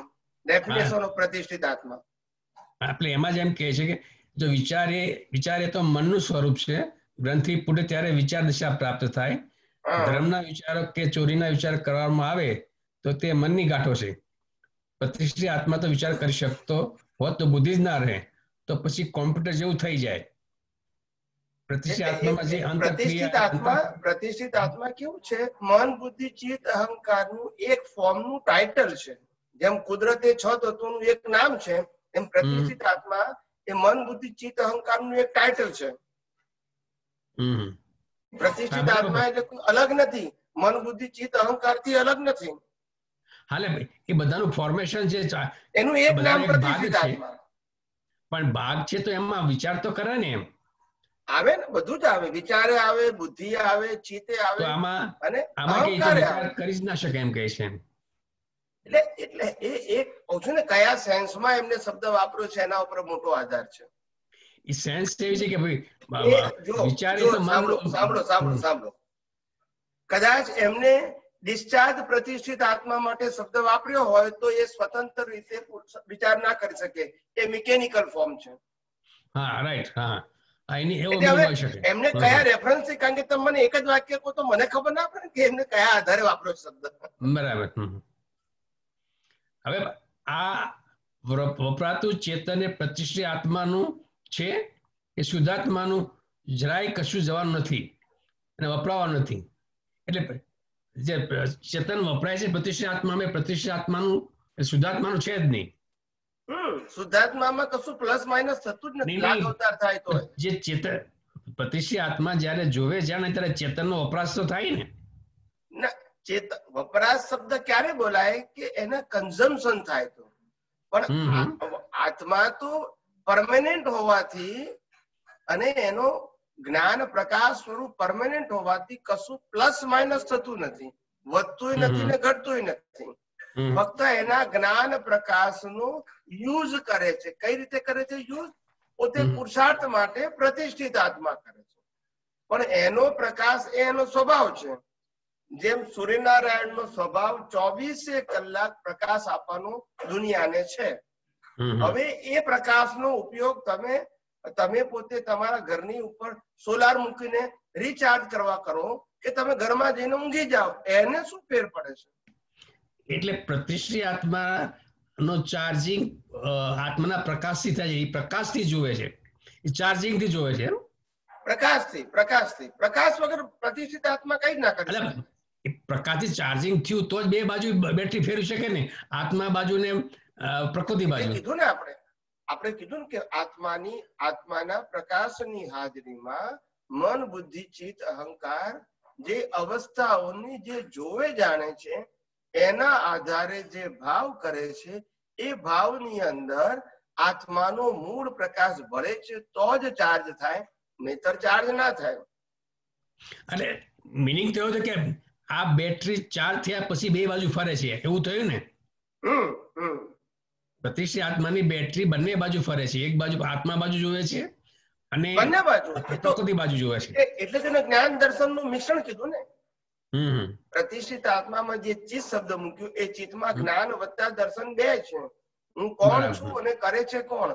આ બે વસ્તુ હોવાથી જ એને ચિત્ત કહેવાય છે. અને એ ચિત્ત એ પ્રતિષ્ઠિત આત્માનો ભાગ છે. બરાબર. હવે હમણાં જ્ઞાન દર્શન બે આવે. હમ. કમલેશભાઈ જે પ્રશ્ન પૂછ્યો એમાં એક દાદા કે અવ્યવહાર રાશિમાં જેટલા આત્મા છે તે પ્રતિષ્ઠિત આત્માની સાથે ને સાથે જ હોય. અવ્યવહાર રાશિના જીવો એટલે કે જેનું નામ પણ પડ્યું નથી. અને વ્યવહાર રાશિના જીવ આવે એટલે તેનું નામ પડે. ત્યાં ત્યાર પછી જ વ્યવસ્થિત શરૂ થાય. ના ના પણ અવ્યવસ્થિત અવ્યવહાર રાશિના જીવોમાં શું બોલ્યા? ફેરથી બોલો તો. અવ્યવહાર રાશિના જીવો એટલે કે જેમનું નામ પડ્યું નથી. એ સમજી ગયો. પછી? વ્યવહાર રાશિના જીવ આવે વ્યવહાર રાશિમાં જીવ આવે એટલે તેનું નામ પડે. નામ પડે ત્યાં પછી જ વ્યવસ્થિત શરૂ થાય. હવે આપણે વ્યવસ્થિતની વાત કરી કે બુદ્ધિ મનુષ્ય અવતારમાં આવે ત્યાર પછી. ના ના જો સમજાવું. આપણે આ વાત કરી છે પણ તમને ફેરથી આખું રિપીટ કરું છું. કે ચૌદ રાજલોકની અંદર વ્યવસ્થિત શક્તિ શબ્દ વપરાય છે. નથી નિગોદમાં વપરાતો નથી સિદ્ધ ક્ષેત્રમાં વપરાતો. બરાબર છે? આપણે કીધેલું છે. હવે ચૌદ આઠ. રાજલોકની અંદર એકેન્દ્રિયથી પંચેન્દ્રિય મનુષ્ય લોક દેવલોક નરક લોક બધું આવી ગયું. બરાબર. સમજાઈ ગયું? ક્લિયર થઈ ક્લિયર થઈ હવે આપણે આ વાત કરી જ છે પણ કદાચ બીજા એંગલથી કરી હોય. આ આ ચૌદ રાજલોકમાં વ્યવસ્થિત વપરાયો શબ્દ નથી વપરાયો હોય. બીજી રીતે વપરાયો છે. કારણ કે આ વ્યવસ્થિત કે વ્યવસ્થિત શક્તિ એ ચૌદ રાજલોકમાં જ લાગુ પડે. છ તત્વો ચૌદ રાજલોકમાં લાગુ પડે. એટલે કર્મનો સિદ્ધાંત કો કુદરતી રચના કો એ ચૌદ રાજલોકમાં બધું લાગુ પડે. એ દેવ એ- આપણે સિદ્ધ ક્ષેત્રમાં લાગુ ના પડે અને નિગોદમાં લાગુ ના પડે. ઓકે. ના એટલે બહુ સરસ ક્લિયર થઈ ગયું. એટલે આમ મેટર પડી અને બીજી વસ્તુ એવી છે ભીડમાં એક એકાંત એવી સ્વપ્નમાં સ્વપ્નમય સૃષ્ટિમાં સુણનારો હું જ ને ગાનારો જ હું જ છું. એટલે કેના માટે કહેવા માંગે પ્રખ્યાત ભીડમાં એકાંત એવી સ્વપ્નમય સૃષ્ટિમાં સુરનારો હું અને ગાનારો હું છું. એટલે પ્રતિષ્ઠિત આત્માની વાત છે? એટલે એટલે સુનનારો હું છું અને ગાનાર હું છું એટલે શું કહેવા માંગે છે? કે ગાનાર અને સુનનાર એ અધર્સ જે માનીએ છે ને એ બધું રિલેટિવ સત્ય છે. આ કવિનું વાક્ય છે કવિરાજનું. સત્યમાં તો હું જ છું બધું. હમ? શાશ્વત સત્યમાં તો હું જ છું બધું. બાકી બધી અવસ્થાઓ છે. અને અવસ્થા એ કુદરતી રચના છે. બાકી બધું હું છું. હું ના હોય તો કોઈ વસ્તુને અવસ્થા કહેવાય જ નહીં. એટલે ભીડમાં એકાંત એવી સ્વપ્ન સૃષ્ટિમાં એટલે એનો એકચ્યુઅલ મિનિંગ થાય? આ દુનિયાની અંદર આટલા બધા મનુષ્યો એના આટલા બધા કર્મના હિસાબો એની આ ભીડ છે. એકાંતમાં. અને આ આ ભીડની સૃષ્ટિ કેવી છે? તો સ્વપ્નમય સ્વપ્નમય એટલે શું છે? કે આજે છે ને કાલે નથી આજે છે ને કાલે નથી. બધું સ્વપ્ન કહેવાય. સ્વપ્નનો મતલબ શું થાય? કે ટેમ્પરરી એને. સ્વપ્ન કીધું. જન્મ જીવન અને મૃત્યુ એ આખું સપનું લાઈફનું સપનું. રાતે ઊંઘી ગયા એને સપનું.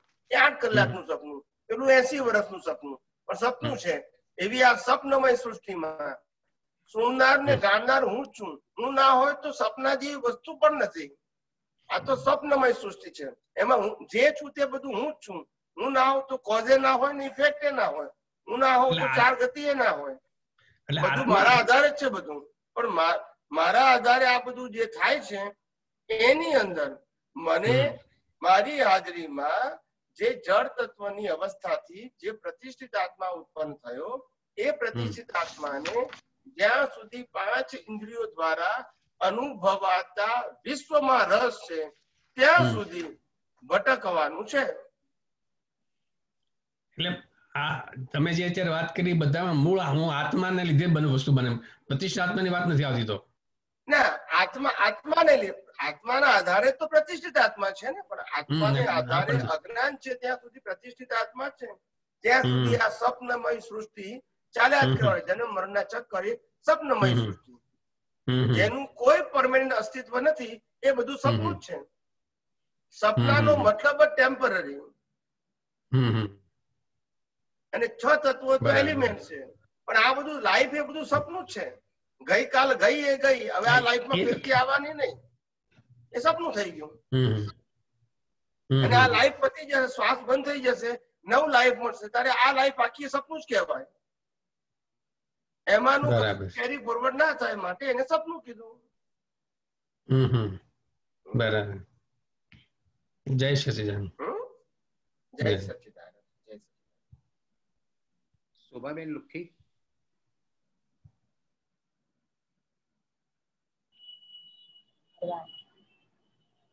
કોણ છે?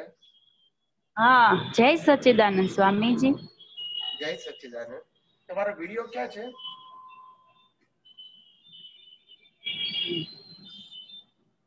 આવી ગયો? હા જય સચ્ચિદાનંદ જય સચ્ચિદાનંદ સ્વામીજી. સ્વામીજી મારે એમ પૂછવું હતું કે જ્યારે આપણે આ શરીર છોડીને આત્મા બહાર નીકળે તો મેં જોયું મારા દાદાનું. તો એમ કે આત્મા તો એટલો સૂક્ષ્મ હોય કે ડુંગરની આર પાર નીકળી જાય. તો છેલ્લે આત્માને બહાર નીકળવા માટે કેમ મુખ દ્વારા નીકળે એમ કે કે આંખો દ્વારા નીકળે? એવું તો એની કેમ એવી જરૂર પડે દરવાજાની બહાર નીકળવા માટે છિદ્રોની? એટલે એ એ જે છિદ્રથી નીકળે એના આધારે ગતિ સૂચક કહેવાય. પણ આત્મા તો એટલો સૂક્ષ્મ છે કે ડુંગરોની આરપાર નીકળી જાય તો બરાબર છે. આ તો આ તો આરપાર નીકળે વાત બરાબર છે. એની તો આપણે ના કહેતા જ નથી. પણ જો એને સ્પેસ હોય કુદરતી આ ઇન્દ્રિયો બધી આ આ શરીરની અંદર જે કાણા છે એ બધા હોય તો ત્યાંથી નીકળે ને? ના હોય તો આરપાર જાય.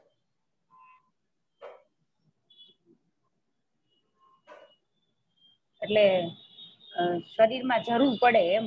છિદ્રોની જરૂર પડે આત્મા નહીં નહીં. શરીરમાં છિદ્રો એ તો આપણા જીવવા માટે છે. એ છિદ્રોમાંથી કોઈ પણ આ બધી ઇન્દ્રિયો છે એ બધા છિદ્રો છે. આ કાન છે એ પણ છિદ્ર. આંખ છે નાક છે મોઢું છે સંડાસ પેશાબ છે. આ બધા છિદ્રો જ છે. પણ આત્મા તો એટલો આ છિદ્રોમાંથી કોઈ પણ છિદ્રમાં જાય ત્યાં સુધી મનુષ્યની ગતિ થાય છે એને છિદ્ર એનું ચિહ્ન બતાવે છે. કે કઈ ગતિ થશે? કઈ ગતિ. બરાબર છે? અને જ્યારે જીવ મોક્ષે જાય ત્યારે આ ખોપડી ફાડીને જાય છિદ્રમાંથી ના જાય. હં. હવે સમજી ગયા? હા અને બીજું મારે એમ પૂછવું છે કે જ્યાં સુધી જન્મ મરણના ચક્કર છે ચાલુ ત્યાં સુધી છિદ્રમાંથી જ જવાનું કોઈ પણ છિદ્રમાંથી. એટલે મને એમ હતું કે આત્મા તો સૂક્ષ્મ છે, શરીર તો સ્થૂળ છે, તો સ્થૂળમાં એને છિદ્રોની શું જરૂર આત્માને. કારણ કે એટલે માટે કીધું કે એની ગતિ છે ને, તિરછી ગતિ છે.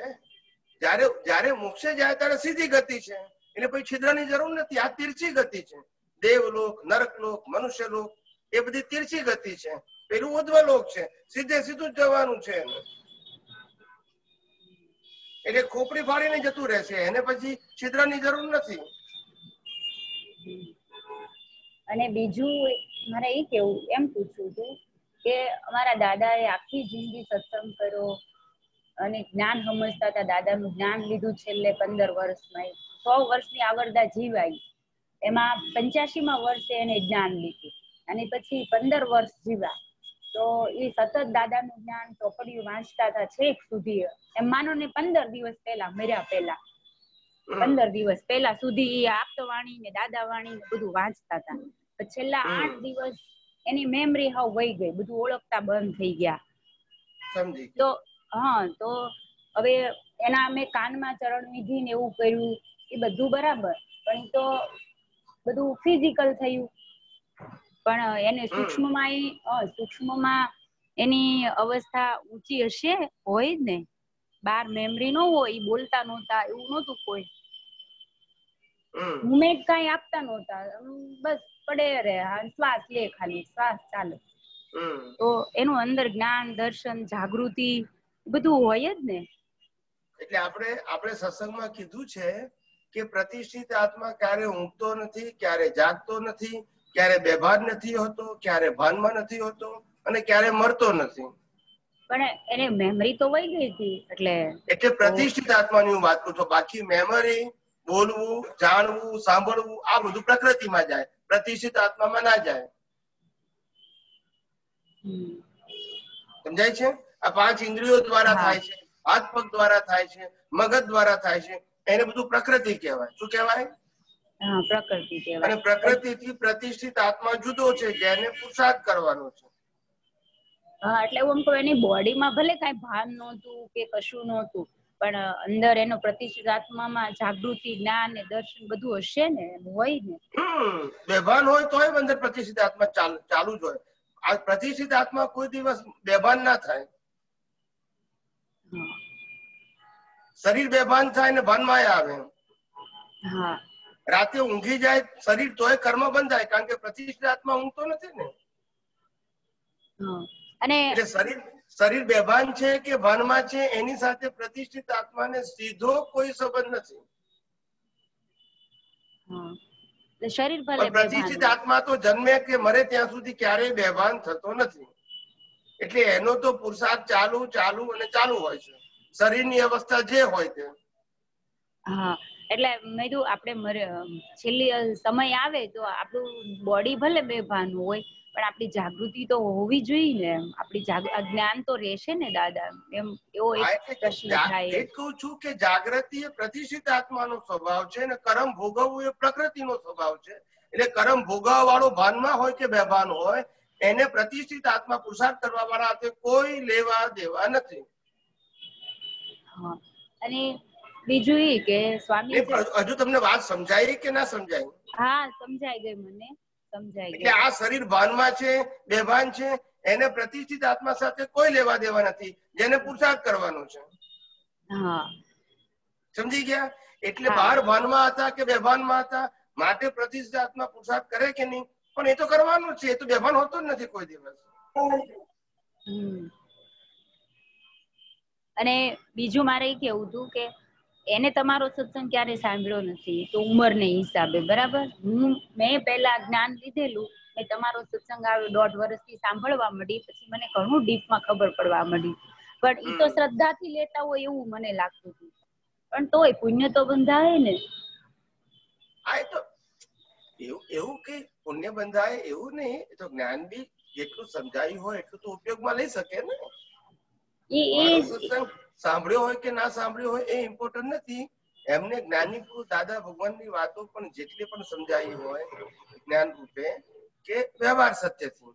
એ બધું જ્ઞાન દર્શન તો એમને કામ લાગ્યું હોય ને એટલે એ પ્રમાણે પુરુષાર્થ તો કરતા જ હોય. એમના જેટલું સમજાયું હોય એ લેવલનો. પુરુષાર્થ દરેક વ્યક્તિ કરી શકે.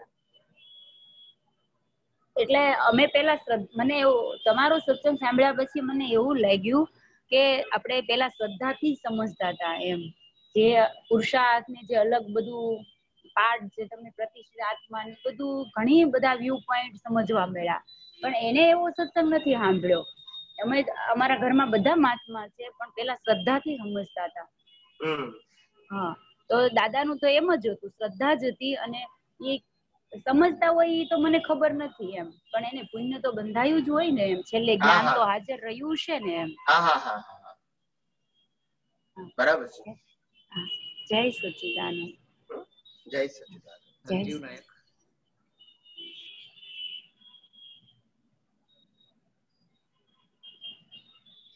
જય સચ્ચિદાનંદ જય સચિદાનંદ. હા સ્વામીજી સંજીવ. જય સચ્ચિદાનંદ હવે થોડુંક કદાચ લાંબુ ચાલશે આપણું. મને બે ત્રણ વસ્તુનું ક્લિયરન્સ જોઈએ છે. એક તો આપણે હમણાં ઉપાદાન વાળી વાત થઈ અને ડેવલપમેન્ટ વાળી વાત થઈ. તો પ્રશ્ન મને એ થયો હમણાં કે ડેવલપ હમણાં જે આપણું ઉપાદાન ગયા વર્ષનું જે મારું ઉપાદાન હતું એ પ્રમાણે પુરુષાર્થ થાય. સૌથી પહેલો પ્રશ્ન એ છે. કે ઉપાદાનના પ્રમાણ ઉપાદાન જેટલું હોય એટલા જ પ્રમાણમાં પુરુષાર્થ થાય કે એમાં વધઘટ હોઈ શકે? કહું કહું. એવું છે કે ગયા અવતારનું ડેવલપમેન્ટ એને આ અવતારમાં ઉપાદાન કહેવાય એ મેં હમણાં કહી દીધું. અને બીજું એ પણ કીધું કે ઉપાદાન આ અવતારમાં જે લઈને આવ્યા છે એનાથી વધારી શકાય. એ પણ મેં વાત કરી દીધી હમણાં શરૂઆતમાં સત્સંગ કર્યો એમાં પ્રશ્ન પૂછ્યો એમાં.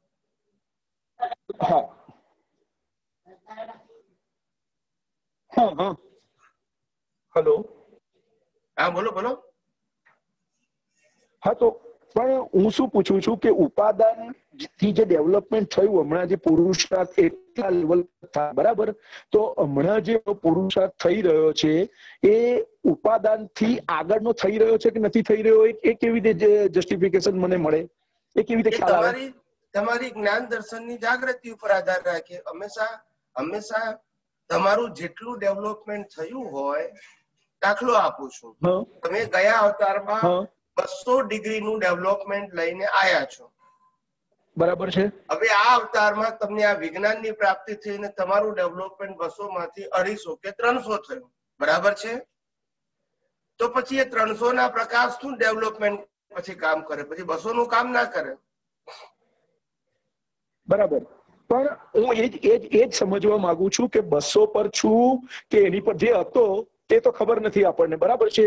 તો વધ્યા જ એની એની એની નિશાની જ્ઞાન દર્શન જે વાપર્યું તે કઈ રીતે જાતે જસ્ટિફિકેશન કઈ રીતે લઈ શકાય? જાતે કેવી રીતે ખબર પડે આપણને કે આ આ વધી રહેલું છે કે આજ આજ લેવલનું છે? એ એ એક્ઝેક્ટ કેવી રીતે સમજાય આપણને? જ્યાં સુધી જ્યાં સુધી આપણે પોતે જેવી સમજણ લાયા હોય એ સમજણ તો કુદરતી રીતે શરૂઆતમાં વપરાતી જ હોય. જેમ જેમ સંજોગો મળે જેમ જેમ જ્ઞાન મળે જેમ જેમ નવી નવી સમજણો મળે બહારના સંજોગોથી તેમ તેમ તમારું જ્ઞાન દર્શન ક્યાં તો ગાઢ થતું જાય ક્યાં તો અપગ્રેડ થતું જાય. બે માંથી એક થાય. તો એ બંને વચ્ચે ફરક ખરો? એક જ પ્રકારનું લેવલ હોય તો. અપગ્રેડ ક્યારે થાય કે લેવલ બદલાય તો? જેમ તમે અત્યાર સુધી ધાર્મિક વાતો સાંભળો અને સામાજિક વાતો સાંભળો એવા એક લાખ અવતાર જાય તોય તમે રિલેટિવ સત્યના લેવલથી આગળ વધી શકો નહીં. બરાબર છે. આ સમજાયું. કારણ કે તમારું લેવલ જ એ છે. પછી ભલે પુણ્ય દેવલોકનું બંધાય એનો પ્રશ્ન નથી. પાપ પુણ્ય નો પ્રશ્ન નથી. I am talking about the development મને મને પણ ડેવલપમેન્ટમાં જ ઇન્ટરેસ્ટ છે એટલે થોડુંક વધારે સૂક્ષ્મતાએ જાણવું છે કે જેથી કરીને ડે બાય ડે ના પુરુષાર્થમાં મને કામ ક્યારે આવે કે સામાજિક અને ધાર્મિક વાતોથી તમને આધ્યાત્મની વાતો મળી એટલે કે આ છ તત્વની વાતો સમજાવવા મળી? હવે તમને કુદરતી કાનૂન નો રસ પડ્યો અને કુદરતી રચના તમને સમજાવવા માંડી એટલે તમારું જે રિલેટિવ સત્યનું જ્ઞાન હતું એ ઓટોમેટિક સાયલેન્ટ મોડમાં આવી ગયું. પહેલા એક્ટિવ મોડમાં હતું. બરાબર છે? કઈ રીતે એક્ટિવ મોડમાં હતું પહેલા?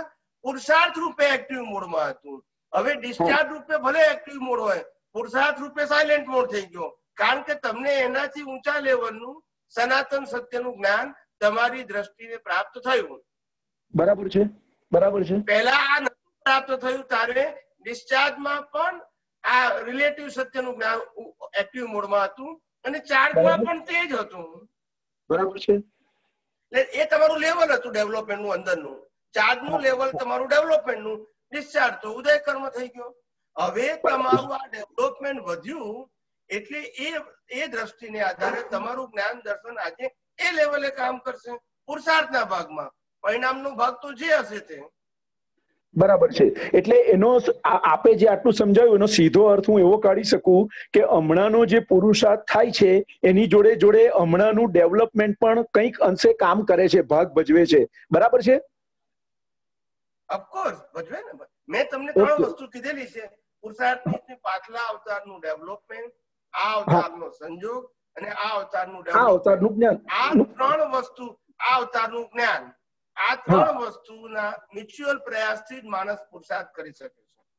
બરાબર છે બરાબર છે. એટલે બંને સિક્કાની બે બાજુ જેવું છે. ડેવલપમેન્ટની સાથે સાથે પુરુષાર્થ પણ જોડાયેલો જ છે અને એ જ રીતે ડેવલપમેન્ટ વધતું પણ જાય પુરુષાર્થ પણ વધતો જાય. બરાબર છે. એટલે હવે બીજું એક વાત હવે આમાં શું થાય. આમાં શું થાય?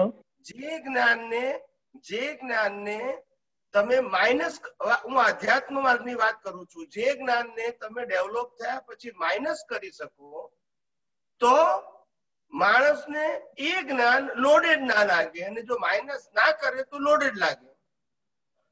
બરાબર છે. એટલે માઇનસ કરવું પડે. શું કરવું પડે? કારણ કે આગળનું સમજવું છે માટે. બરાબર છે. પણ જો તમે જે સમજેલા છો એને તમે પ્રાપ્તિ માનશો તો પછી એ લોડેડ થઈ જશે. પછી પ્રગતિ નહીં થાય ને એ જ જ્ઞાન તમને બોજો કરશે. આપણે બોજો કરવો નતો આપણે પાસ થઈને આગળ વધો. પાસ થઈને આગળ વધો. પાસ થઈને આગળ વધો. સમજાય છે? બરાબર છે. બરાબર છે. બરાબર છે. આ કોન્સેપ્ટ સમજવો. કેટલાક જ્ઞાનીઓને હાયર લેવલના જ્ઞાનીઓને પણ સનેપાત થઈ જાય. શું થઈ જાય? સનેપાત થઈ જાય. સનેપાત ભલે ઉદય કર્મ છે પણ ઉદય કર્મનું કારણ એ આવે કારણ કે એ જ્ઞાન લોડેડ થઈ ગયું. શું થઈ ગયું?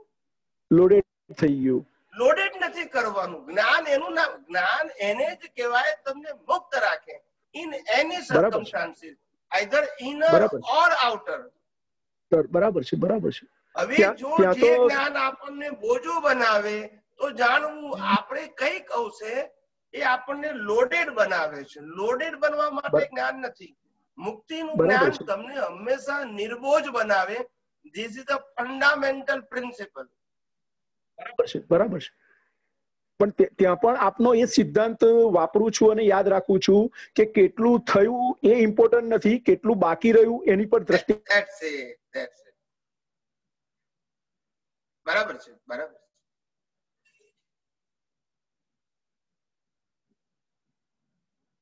હા, બીજું કઈ પૂછવું છે? જે તે જગ્યાએ હું મારું જ્ઞાન દર્શન હમણાંનું જે ડેવલપમેન્ટનું છે, જે લેવલનું છે એ વાપરું છું તો જે સંજોગ હતો એ કેટલા અંશે મેં પાર કર્યો એટલે કુદરતની પરીક્ષામાં હું કેટલા અંશે પાસ થયો એ કેવી રીતે જાણી શકું? હવે એક મને જે સાદી સમજ છે તો કે રાગ દ્વેષ ન થવો. તો મારી દ્રષ્ટિમાં તો મને એવું લાગે છે કે જ્યાં વિજ્ઞાનનો ઉપયોગ થાય છે ત્યાં રાગ દ્વેષ થતો જ નથી. તો આમાં હજુ જરા મને જે એકદમ પાતળી ભેદરેખા હોય એ સમજાવો. કે જેથી કરીને બીજી વખત એ જ સંજોગ જ્યારે આવવાનો છે તો એમાં જે વીસ ટકા રહી ગયા કે પચાસ ટકા રહી ગયા એને હું કેવી રીતે પાસ કરી શકું? આ મૂળ પ્રશ્ન છે મારો. હા એટલે જુઓ આપણને આ પાંચ ઇન્દ્રિયો દ્વારા અનુભવાતા સંજોગો કેટલા કુદરતી રચના તરીકે દેખાય છે? કેટલા કુદરતી કાનૂનથી આ બધી અવસ્થા દેખાય છે? અને કેટલું છ તત્વ આ અવસ્થામાં સમજાય છે? એ આપણું ડેવલપમેન્ટ છે. બરાબર છે. હવે એક એક એક પેટા પ્રશ્ન પૂછી લઉં સાહેબ. આપ આ જે ચાર આપ આપ ચાર નામ બોલ્યા એના બદલે ફક્ત સંજોગ અને શુદ્ધાત્મા અથવા તો કુદરતી રચના અને હું શુદ્ધાત્મા અને હું શુદ્ધાત્મા તો કે કેવો? તો કે ચેતન છું અવિનાશી છું અનંત શક્તિ વાળો છું અને અનંત સુખનું ધામ છું. એ અનંત સુખ એટલા માટે ઉમેર્યું છે કે જે કરીને મોહનીય અવરણ મારું તૂટે.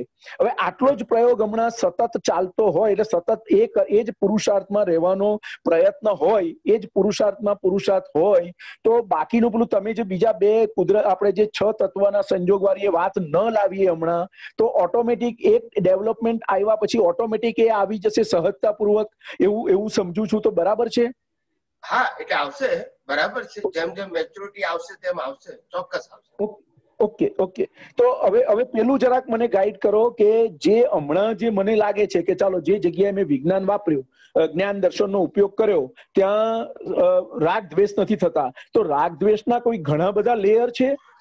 કારણ કે મને તો એવું લાગે છે કે રાગદ્વેષ થતા જ નથી પણ એ આપની જોડે ચર્ચામાં એવું પણ જાણ્યું છે કે અત્યારે તો સંવત આપણે તો અત્યારે અત્યારે આપણે રાગદ્વેષનું બહુ સબ્જેક્ટ નહીં ઓપન કરવાનો સાયન્સમાં કારણ કે એ આપણો મેઈન સબ્જેક્ટ નથી અને સાઈડ નો પણ સબ્જેક્ટ નથી.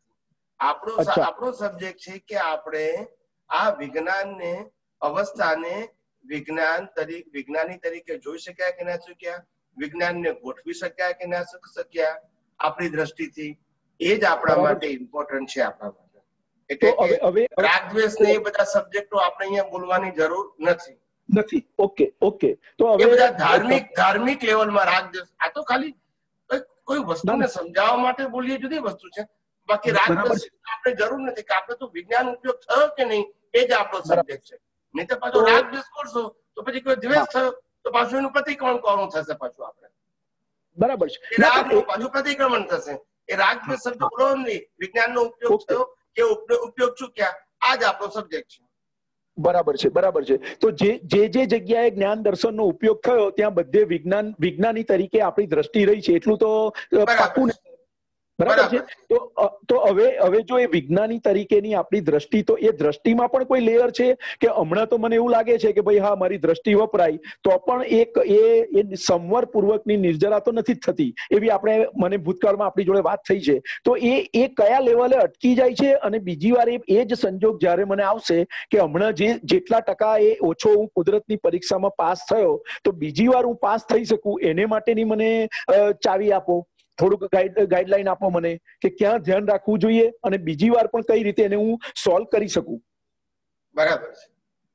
એટલે એટલે એ એ ચાવી એ છે કે કેમે કરીને કેમે કરીને આપણે આ વારંવાર જ્યારે કુદરતી રચનાને કુદરતી રચના તરીકે જોઈએ ત્યારે આપણી દ્રષ્ટિ છે જેને આપણે જ્ઞાન દર્શન કહીએ છીએ તે- તે રૂપ થઈ જતી હોય છે. અને પછી સહજ રીતે કામ કરતી હોય છે. ધીમે ધીમે જેમ જેમ તમારો પુરુષાર્થ સાઉન્ડ થતો જાય એમ તમારી દ્રષ્ટિ પણ સાઉન્ડ થતી જાય એમ તમારી જે દ્રષ્ટિ છે એ ધીમે ધીમે ઓટો મોડથી ઉપયોગમાં આવે ઓટો મોડથી. બરાબર છે. દાદા ભગવાને કીધું છે કે ભઈ આ કાંટો છ થી બાર ઉપર જાય ત્યાં સુધી મહેનત છે પછી બારથી છ ઉપર આવે કે મહેનત કરવી પડતી નથી કારણ કે નીચે આવવાનું છે. પણ ત્યારે આપણું આખું પૂરું થાય. એવી રીતે અહીંયા પણ આધ્યાત્મ માર્ગમાં શરૂઆતના સમયમાં ખૂબ એફર્ટ કરવો પડે, ખૂબ એફર્ટ કરો. જેમ જેમ ઉપર જશો તેમ એફર્ટ ઓછો થશે રિઝલ્ટ વધારે આવશે. એફર્ટ ઓછો રિઝલ્ટ વધારે. અને જ્યારે બરાબર હાફ ઉપર તમે જશો, ત્યારે ઓછા એફર્ટે વધારે રિઝલ્ટ ઓછા એફર્ટે ઓર વધારે રિઝલ્ટ ધીમે ધીમે તમારી દ્રષ્ટિ સહજ થઈ જશે. બરાબર છે.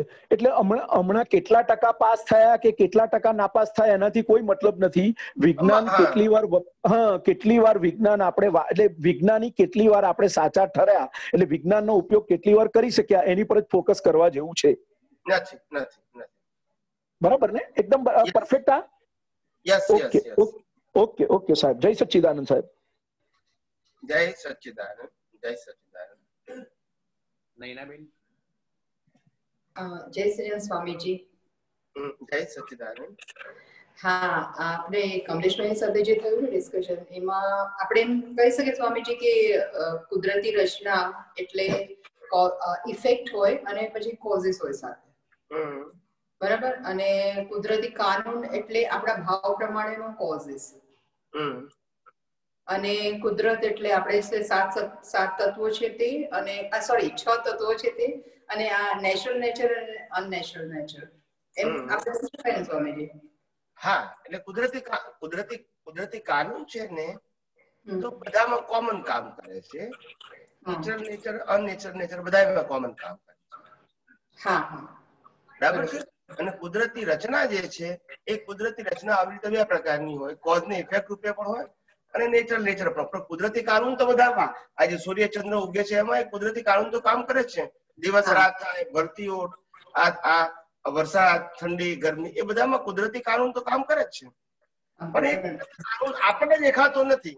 પણ એ કુદરતી કાનૂન એની મેચે જ કામ કર્યા કરશે છે. મનુષ્યની વસ્તી હોય કે ના હોય જંગલોમાં જ્યાં કોઈ માણસ ના હોય ત્યાં કુદરતી કાનૂન ને કુદરતી રચના છે જ. છે છે હા બરોબર છે. પણ આપણે જે. અનનેચરલ નેચર જે છે એને માટે આપણે કહી શકાય ને સ્વામીજી કે આ ફક્ત ભાવ અને કોઝિસ હા. એને કારણે આપણું પેલું એ થાય છે. જી બરોબર જી ને સ્વામીજી જી જી બરાબર છે જય શ્રી રામ સ્વામીજી હમ? જય સચ્ચિદાનંદ જય સચ્ચિદાનંદ દીપ અગ્રવાલ जय श्री राम स्वामी जी હમ, જય સચ્ચિદાનંદ अ, स्वामी जी एक प्रश्न ये था कि सिद्धि के ऊपर था कि सुनने में आता है कि एक आदमी है और उसका दो तीन जगह पे हो सकता है वो सिद्धि का उपयोग करके अगर वो रायगढ़ में है वो एट ए टाइम बिलासपुर हो सकता है अहमदाबाद में हो सकता है ऐसी सिद्धियाँ होती हैं क्या? हम्म। तो फिर हाँ, होती है बोलिए। हाँ। होती है। फिर? इसमें जो आत्मा है मूल आत्मा है वो फिर तीन जगह में कैसे रहेगा स्वामी जी? वो कैसे होता है?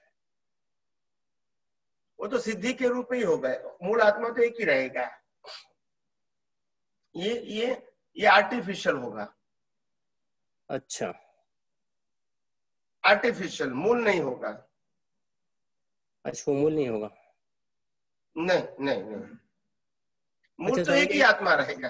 अगर वो हम्म। दस भी दस जगह भी होना चाहते हैं तो हो सकते है वो वो चीज़ सकती है। अच्छा। जैसे एग्ज़ाम्पल दू देव लोग भी एक एक ही टाइम पे दस जगह पे रह सकते हैं सौ जगह पे भी रह सकते हैं। आत्मा तो हम्म। एक ही होता है। आत्मा सौ नहीं होता है। हाँ। जी जी वही समझ रहे थे स्वामी जी। अच्छा दूसरा प्रश्न है स्वामी जी। आत्मा तो एक ही रहेगा। जी जी। अच्छा स्वामी जी अभी आपने बताया कि जैसे कि जो लोग मोक्ष में आते हैं उनका आत्मा शरीर शरीर से ऊपर से निकलता है। तो क्या हम्म। प्रमाण है कि ऐसा होता ही है? हाँ हाँ। जो भी मोक्ष में जाएगा वो तो यहाँ से निकलेगा। इसको स्वामी जी, ब्रह्म बट- रंध्र बोलते हैं। ब्रह्म रंध्र बोलते हैं। अपन जो पुस्तकें पढ़ते हैं धार्मिक पुस्तकें इसमें कई सब जैसे महापुरुष होते हैं उनके बारे में लिखा गया कि उनका भी सर से निकला था आत्मा। हम्म। बट वो सपोज़ लो अभी 2000 साल पहले यानी जब महावीर स्वामी ने थे उसके बाद भी ऐसे आते हैं कि उनके बारे में भी ऐसे लिखा गया है। तो ऐसा शायद ना हो। नहीं क्या क्या लिखा था? बस मेरे को एग्जैक्ट नाम याद नहीं आ रहा है बट जैसे कई महापुरुष थे उनके बारे में लिखा गया है कि उनका भी आत्मा सिर से निकला था।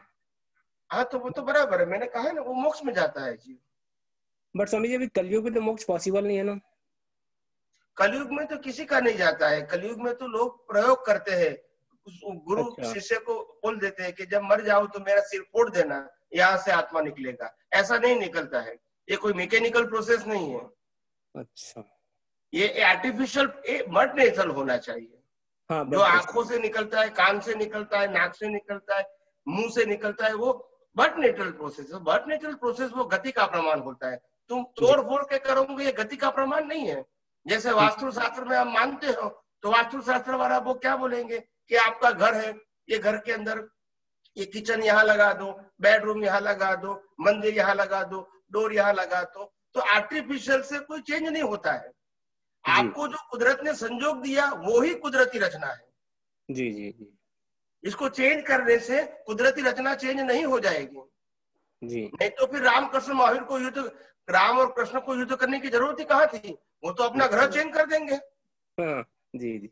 अगर ऐसा हो सकता है तो इट इज़ इम्पॉसिबल मगर हाँ दुनिया तो श्रद्धा से चलती है और लोग उसको मूर्ख बनाने वाले तैयार हैं। मूर्ख बनने वाले भी तैयार हैं। दुनिया चलती है चलाने वाला चाहिए। जी समझ गए तो ये तो दुनिया श्रद्धा से चलती है तो ऐसा तो होता ही रहेगा। हमको समझना है कि कोई भी व्यक्ति दुनिया में जो पैदा हुआ है वो अपने मन वचन काया से समर्थ हो सकते हैं स्वतंत्र कभी भी नहीं हो सकता। चाहे राम है चाहे कृष्ण है चाहे महावीर है।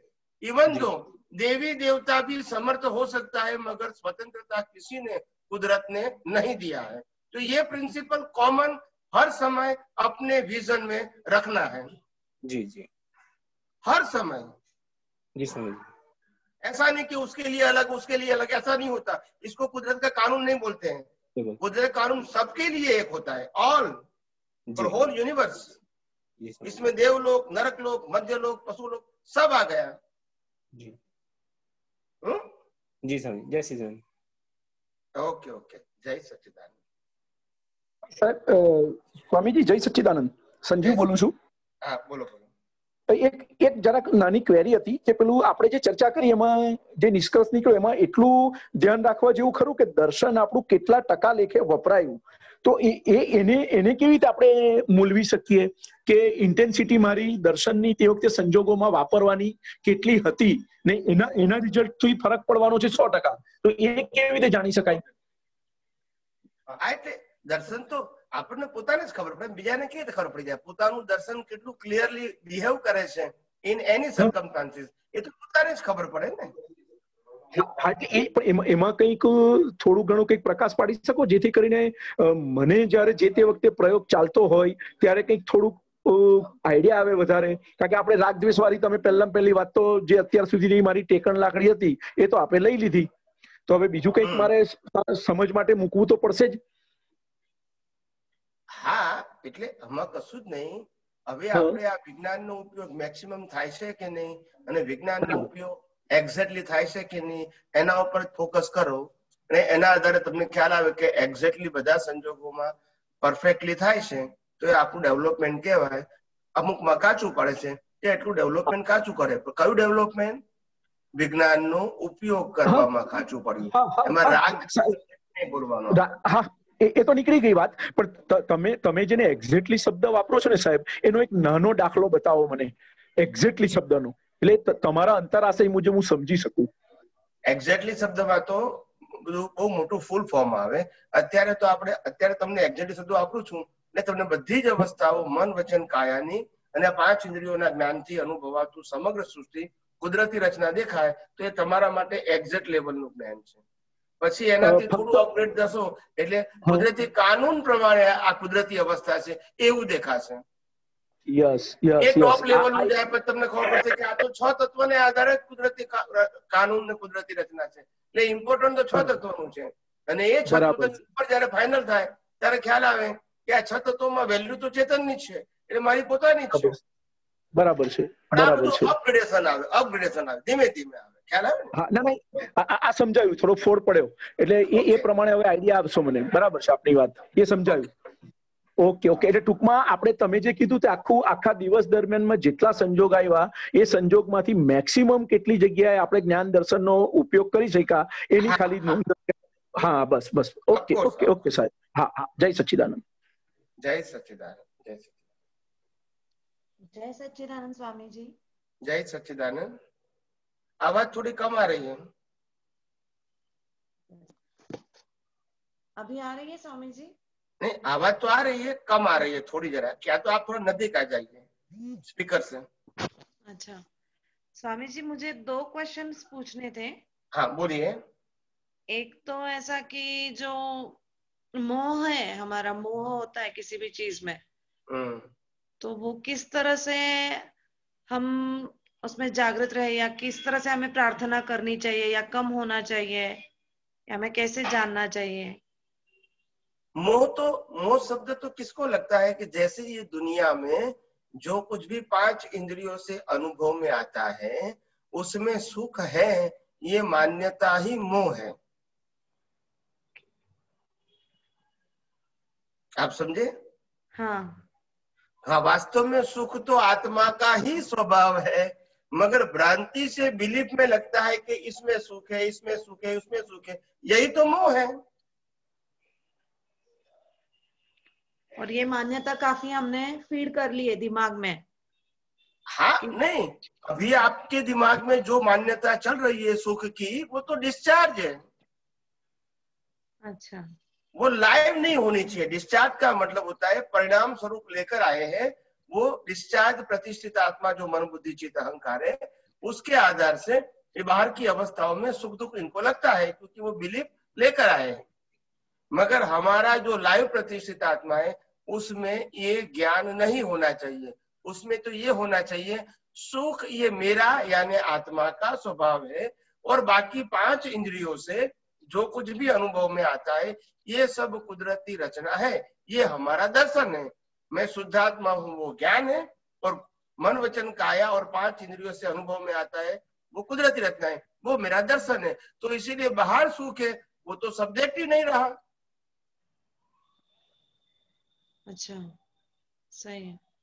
ये हम जानते हैं फिर भी हमारा अमल नहीं होता हम बीच के स्टेशन पे क्यों उतर जाते हैं बार बार वो वो प्रमाद होता है ना प्रमाद अजागृति आ जाती है। तो इसीलिए कभी कभी एग्जिट ले लेते हैं। तो क्या करना चाहिए हमें? किस तरह की हाईवे पर से हाईवे पर से एग्जिट ले लेते हैं बार बार हाँ बार बार नीचे आ जाते हैं और फिर वापस पश्चाताप होता है। Come back come back highway पे आ जाने का कोई बात नहीं अभी तो हम पुरुषार्थ कर सकते हैं। तो फिर वापस आ जाने का हो सकता है। गलती कभी हो जाती है। कर्मों का इतना फोर्स है और जागृति की कमी होने की वजह से ऐसा हो सकता है। घबराने की ज़रूरत नहीं है। देन कम बैक वापिस आ जाओ। अच्छा। और एक अ, सवाल था कि हम यहाँ से वापस निगोद में जा सकते हैं क्या? निगोद में नहीं जा सकते। लोक से बाहर नहीं जा सकते। या तो सिद्ध क्षेत्र में जाओ या तो लोक में रहो। निगोद में नहीं जा सकते। इतना ही सवाल था। अभी जैसे इन्होंने पूछा कि जागृति के समय राग द्वेष नहीं होता है कितने परसेंटेज इनको कहना था? मुझे इतना समझा कि राग हो या द्वेष हो, और अंदर जागृति हो तो हम जागृति है बाहर तो कुछ ना कुछ चालू ही रहेगा। बाहर की प्रकृति को राग, बाहर की राग द्वेष वाली प्रकृति को वास्तव में राग द्वेष नहीं कहा है। आपकी दृष्टि में जो अज्ञानता है, उसी में राग द्वेष है। बाहर का राग द्वेष है, वो तो उदय कर्म है या कुदरती रचना है।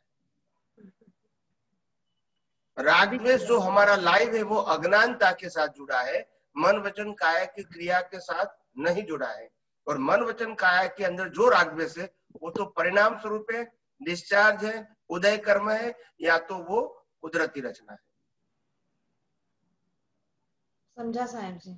धन्यवाद। जय ओके। सच्चिदानंद। जय सच्चिदानंद जय सच्चिदानंद। आपका स्वास्थ्य अच्छा है ना? ठीक है ना? एकदम बढ़िया। ओके आपकी कृपा से बहुत अच्छा है।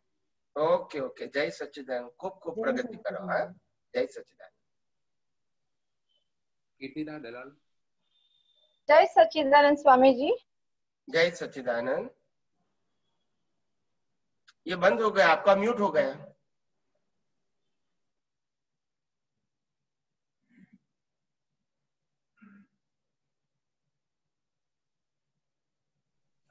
ઓકે. સ્વામીજી સંભળાય છે હવે? હા હા હા. પ્લીઝ પ્લીઝ સ્વામીજી જય સત્યનારાયણ સ્વામીજી. મને પ્રતિષ્ઠિત આત્મા ના પુરુષાર્થ માટે થોડુંક જાણવું હતું કે પ્રતિષ્ઠિત આત્મા એ જે મેઇન મેઇન રોલામાં પ્રતિષ્ઠિત આત્માનો છે ને આપણે મોક્ષ માર્ગમાં આગળ વધવું હોય તો એ સાચી દિશામાં પુરુષાર્થ કરે છે જ્ઞાની જ્ઞાની હવે જ્ઞાન મળ્યા પછી જે પ્રતિષ્ઠિત આત્મા હોય અને અજ્ઞાન અવસ્થામાં જે પ્રતિષ્ઠિત આત્મા હોય એમાં તો પછી આસમાન જમીનનો ફરક પડી જાય એના પુરુષાર્થમાં? પડી જાય પડી જાય પડી જાય. પડી જાય. તો હવે ધારો કે આ બે ચીજ જે એકદમ જડબે સલાકા મગજમાં બેસી ગઈ છે કે હું શુદ્ધ આત્મા છું અને આ બધું કુદરતી રચના છે તો એ બે એ બે બિલીફ બરાબર બેસાડી અને આપણે આગળ વધીએ અને પ્રકૃતિ પ્રકૃતિનું કામ કરે તો પ્રતિષ્ઠિત આત્મા ઓટોમેટિકલી જાગૃત થઈ જાય કે એને માટે બીજી કઈ મહેનત કરવી પડે? ના આપણે અત્યારે અત્યારે આપણે અવેરનેસ જોઈએ. આપણી પાસે એવી દશા નથી આવી ગઈ કે આપણો પ્રતિષ્ઠિત આત્મા હજુ સહજ થઈ ગયો હોય જ્ઞાન દર્શનમાં. માટે આપણે અત્યારે હંમેશા જાગૃત રહેવાનું અને જાગૃતની અંદર જાગૃતિમાં હું કોણ છું? અને આ સમગ્ર સૃષ્ટિ કોણ ચલાવે છે મન વચન કાયા સહિત એ સતત ઉપયોગમાં રાખવાનું જેથી સ્લીપ થવાના ચાન્સીસ ઓછા આવે. એક્ઝિટ લેવાના ચાન્સીસ ઓછા આવે. સ્વામીજી આ વસ્તુ પ્રકૃતિએ કરવાની છે ને? પ્રતિષ્ઠિત આત્મા એ પ્રતિ પ્રકૃતિ નહીં. પ્રકૃતિ તો કુદરતી રચનામાં ગઈ. પછી આખો દિવસ પેલું જુદું પાયડા કરવાનું છે એ પ્રતિષ્ઠિત આત્મા. કે હું આ નથી હું આ નથી આખા દિવસમાં યાદ કર્યા કરવાનું, એટલે હું કોણ છું એને સમજાવશે. એ તમને મહેનત છે એવું ના લાગવું જોઈએ. મહેનત ના લાગવી જોઈએ. એ ધીમે ધીમે આટલા અભ્યાસ પછી તમને ખાલી સહજ થઈ, જાગૃતિ રહેવી જોઈએ, પણ સહજ રહેવી જોઈએ. જેમ જેમ આપણે જેમ આપણે ભણતા હોઈએ, ત્યારે આપણને ખ્યાલ થાય કે હું સ્ટુડન્ટ છું બાળ મંદિરથી ગ્રેજ્યુએટ સુધી. પણ સ્ટુડન્ટ છું. તો સ્ટુડન્ટ છું યાદ રાખવું પડતું નથી. નથી યાદ રાખવું પડતું. એવી રીતે પહેલે પછી હું પત્ની છું, એ રહે છે જ આપણને. એવી રીતે અહીંયા આગળ પણ જ્ઞાન જે છે, જ્ઞાન અને દર્શન જે છે, એ જતું રહેતું નથી. પણ જાગૃતિ જોઈએ. જાગૃતિનો મતલબ ઉપયોગ. એટલે કે આપણી જાગૃતિ પોતે કામ કરવી જોઈએ. આ ડિસ્ચાર્જ ભાગમાં ઓટોમેટિક કેમ કામ કરે છે? કારણ કે ડિસ્ચાર્જ વાળો ભાગ છે. એટલે બિલીફ કામ કર્યા કરે છે. ડિસ્ચાર્જમાં તમારે કઈ કરવાનું ના હોય. અહીંયા આગળ જાગ્રત ભાગમાં પુરુષાર્થ હોવાથી ત્યાં તમારે સતત જ્ઞાન અને દર્શનની જાગૃતિ સતત રાખવી પડે છે. પણ એનો બોજો નહીં રાખવાનો. બોજો નહીં રાખવાનો એટલે કે મને મને આ પ્રકૃતિને કુદરતી રચના તરીકે જોતા અથવા તો હું પરમાત્મા છું એ જોતા મને બોજો ના રાખવું જોઈએ, કારણ કે બંને વસ્તુ જુદી છે. એક ચેતન છે, એક જળ છે. એક સ્વાભાવિક છે એક કુદરતી રચનાને આધીન છે. બસ આવું જ મારું વિઝન સતત બધી જ અવસ્થાઓમાં મેક્સિમમ રહે એવી જાગૃતિ એવો ઉપયોગ ને એવો પુરુષાર્થ હોવો જોઈએ. હા પણ તો એ એ તો નથી રહેતો. એવું લાગે છે કે રહેતો નથી કઈ બિલકુલ. પ્રકૃતિ સાથે જ ભળી જ જવાય છે મોટા ભાગના ટાઈમ તો તો એને માટે શું કરવાનું કે પ્રતિષ્ઠિત આત્માની જાગૃતિ વધે, એને માટે પ્રકૃતિએ કંઈ કરવાનું ખરું? પ્રકૃતિ નથી કરવાનું. પ્રતિષ્ઠિત આત્મા દ્વારા આ શુદ્ધ જ્ઞાન ને શુદ્ધ દર્શનનો ઉપયોગ વધારવાનો, બસ. જેમાં કાચા છે, એમાં પાકા થવાનું. પ્રકૃતિ તો પહેલેથી કુદરતી રચના છે, સારું કરે તોય કુદરતી રચના, ખરાબ કરે કોઈ કુદરતી રચના. આપણા હાથમાં નથી, પછી ક્યાં પ્રશ્ન છે? પણ પણ સ્વામીજી, અત્યારે આપણને જે કોઈ બી સામાન્ય માણસ હોય કે જે હમણાં હમણાં જ્ઞાનમાં આવ્યો હોય, અજ્ઞાની જ અજ્ઞાની જ હોય, તો એ તો ખાલી પ્રકૃતિને જ ઓળખે છે. એ પ્રતિષ્ઠિત આત્માની ઓળખાણ થઈ જાય એવી રીતે? ના, પ્રતિષ્ઠિત આત્મા શું છે એની જેને ખબર નથી, એના માટે તો પ્રકૃતિ એક કર્મ ભોગવવાનું સાધન છે અને પ્રકૃતિ એક પુરુષાર્થ કરવાનું સાધન છે. એના માટે પ્રતિષ્ઠિત આત્મા એ સબ્જેક્ટ જ નથી. હોવા પ્રતિષ્ઠિત આત્મા છે એના માટે સબ્જેક્ટ નથી. જેમ જેમ અજ્ઞાનીને પ્રતિષ્ઠિત આત્મા તો હોય કે પ્રતિષ્ઠિત આત્મા વગર કોઈને કર્મ બંધાય નહીં. પણ અજ્ઞાનીને પ્રતિષ્ઠિત આત્મા કર્મ બાંધે છે એ ખબર નથી એટલે એ પ્રકૃતિના આધારે જ પુરુષાર્થ કરે છે. બરાબર છે. તો હવે એના માટે પ્રકૃતિની સારી ક્રિયા કરી તો કે મેં કરી ખરાબ કરી તો કે મેં કરી એના આધારે એને પુરુષાર્થ કહેવાય છે. ઓકે ઓકે એટલે એના માટે રોંગ બિલીફ એ પુરુષાર્થ છે. એના માટે રોંગ બિલીફ એ પુરુષાર્થ છે. કારણ કે એનાથી એને સંસાર પ્રાપ્ત થાય છે. અહીંયા રાઈટ બિલીફ ને પુરુષાર્થ કેટલા માટે કહેવામાં આવે છે? અહીંયા સંસાર સમાપ્ત કરવાનો છે. પેલાને સંસાર ચલાવવાનો છે. એટલે રોંગ બિલીફની જરૂર છે. આપણે સંસાર સમાપ્ત કરવો છે. એટલે રાઈટ બિલીફની જરૂર છે. રાઈટ એટલે સનાતન સત્ય રોંગ એટલે રિલેટિવ સત્ય. ઓકે મને જરાક આ બાબત પર થોડું વિચારવું પડશે, પછી હું આગળ પૂછી શકીશ પણ આ બેને, એક બેને હમણાં જે પ્રશ્ન પૂછ્યો ને કે શરીર કોમામાં હોય, પ્રકૃતિ કોમામાં હોય અને પ્રતિષ્ઠિત આત્મા પુરુષાર્થ કરી શકે તો કોઈ વાર એવી કન્ડિશન આવે તો પ્રતિષ્ઠિત આત્મા સાચી દિશામાં પુરુષાર્થ કરે એવું જો કોઈને જોઈતું હોય તો આ ખાલી આ બે ચીજ સમજીએ જ્ઞાન દર્શન. એટલે પ્રતિષ્ઠિત આત્મા રાઈટ ટ્રેક પર પુરુષાર્થ કરે ને એ ઓફકોર્સ સાચી વાત છે. આ બે ચીજ સમજવાની જરૂર પાકી કરવાની પછી પ્રકૃતિ શું કરે છે તમારો વિષય જ નથી પછી. એ ભાનમાં હોય કે બેભાનમાં હોય જાગે કે ઊંઘે એ તમારો વિષય જ નથી. તો ધારો કે આ આ બે ચીજ પાકી કરે કે કુદરતી રચના છે અને હું શુદ્ધાત્મા છું તો ઓટોમેટિકલી પ્રતિષ્ઠિત આત્મા જાગૃત છે એમ કહેવાય ને? ઓફકોર્સ બરાબર છે. બરાબર ઓકે. હું થોડું કામ કરીશ આની પર પછી આ બાબત પર આગળ વાત કરીશ. હજુ મને બરાબર સો ટકા જય Sachchidanand. Thank you very much જય સચિદાનંદ. જય સચિદાનંદ. હવે કોઈ બાકી છે? ભરતભાઈ મહુવા. બે પ્રશ્નો છે. ઓકે લઈ લો વાંધો નહીં. જય સચિદાનંદ મહાત્મા જય સચ્ચિદાનંદ આપણે તમને સાંભળીએ અને ખાલી મહિનો દિવસ છો હજી છે. પણ જે પહેલા શરૂઆતમાં હું મહિના દિવસ પહેલા તમારો સત્સંગ સાંભળતો તો મને કાયમ નવા નવા પ્રશ્ન થતા કે હાલો આજ આ સ્વામીજીને આ પૂછું આજ આ પૂછું. તો હવે કોઈ પ્રશ્ન જ અંદરથી ઉપ- ઉપડતો નથી તો એના માટે શું કરવું ના સારું ના આપણને. એને તો પછી સારું કહેવાય ને એમાં ખોટું શું કહેવાય? પછી એક બીજું કાલના મને એક મહાત્માએ ફોન કર્યો. આ તો આ તો હું કોઈને બધાને પૂછું છું કે પ્ર- પ્રશ્ન પૂછો પ્રશ્ન પૂછો તો જવાબ નીકળશે તો કોઈ કે સ્વામીજી મને પ્રશ્ન એ છે કે મને પ્રશ્ન ઊભો થતો જ નથી. એ જ પ્રશ્ન છે. હા બરોબર. કઈ કઈ વાત કઈ વાત એક બીજો પ્રશ્ન હતો સ્વામી. બોલો.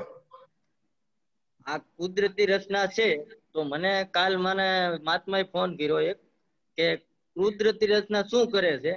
તો એનું મને સમજાણું નહીં બરોબર. પછી પાછો મેં એને રીંગી કરી કે કુદરતી રચના શું કરે છે એમ એને મને પૂછ્યું. તો કુદરતી રચના તો ભરત છે એ કુદરતી રચના જ છે.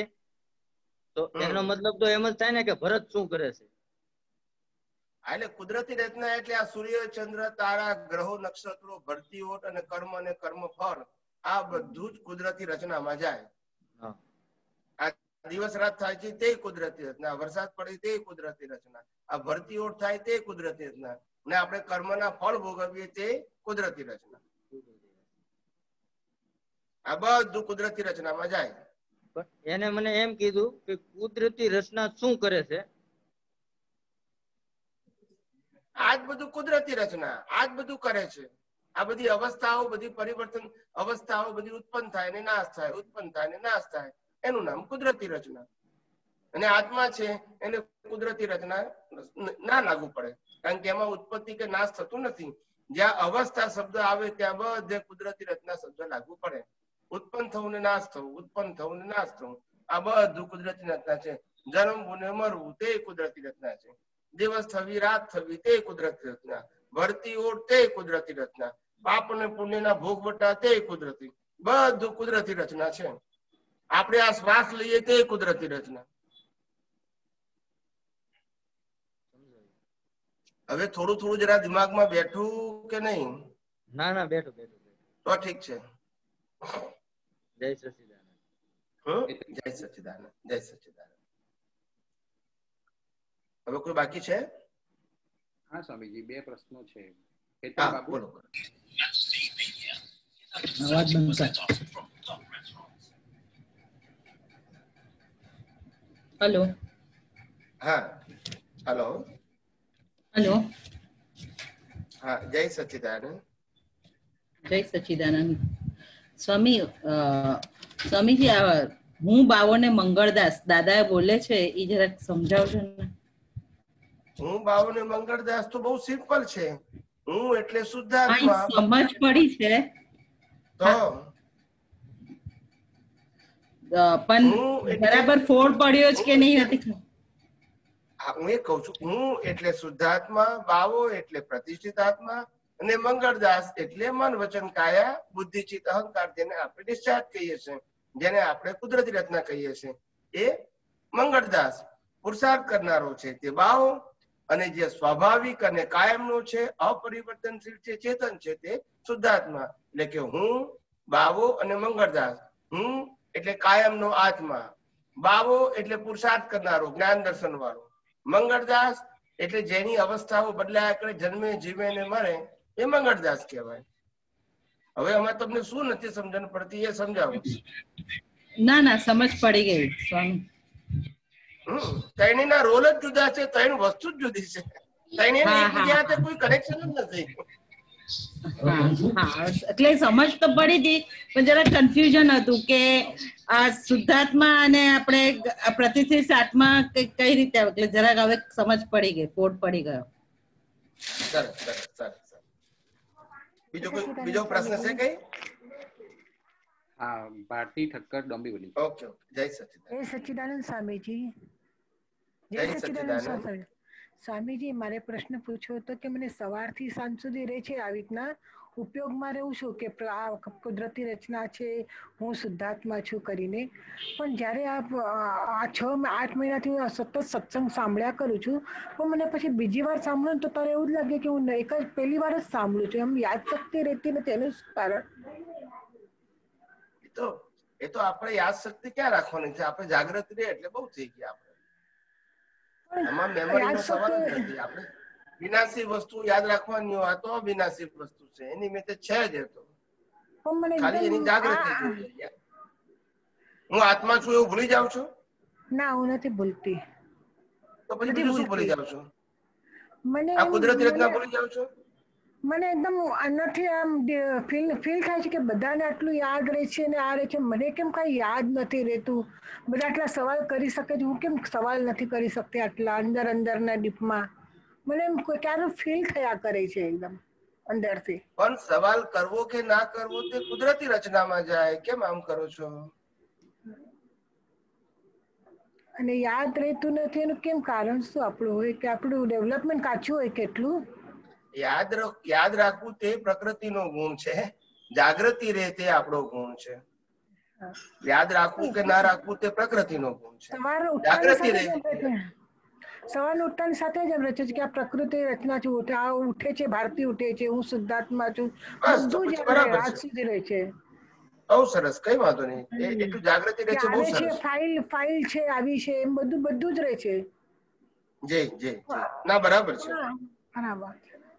યાદ ના રહે તો ચિંતા નહીં કરવા કઈ નહીં કઈ યાદ આમે આપણી આખી આમે આપણી આખી જિંદગી જિંદગી શ્વાસ બંધ થાય પછી ફરજિયાત બધાએ ભૂલવી જ પડે છે.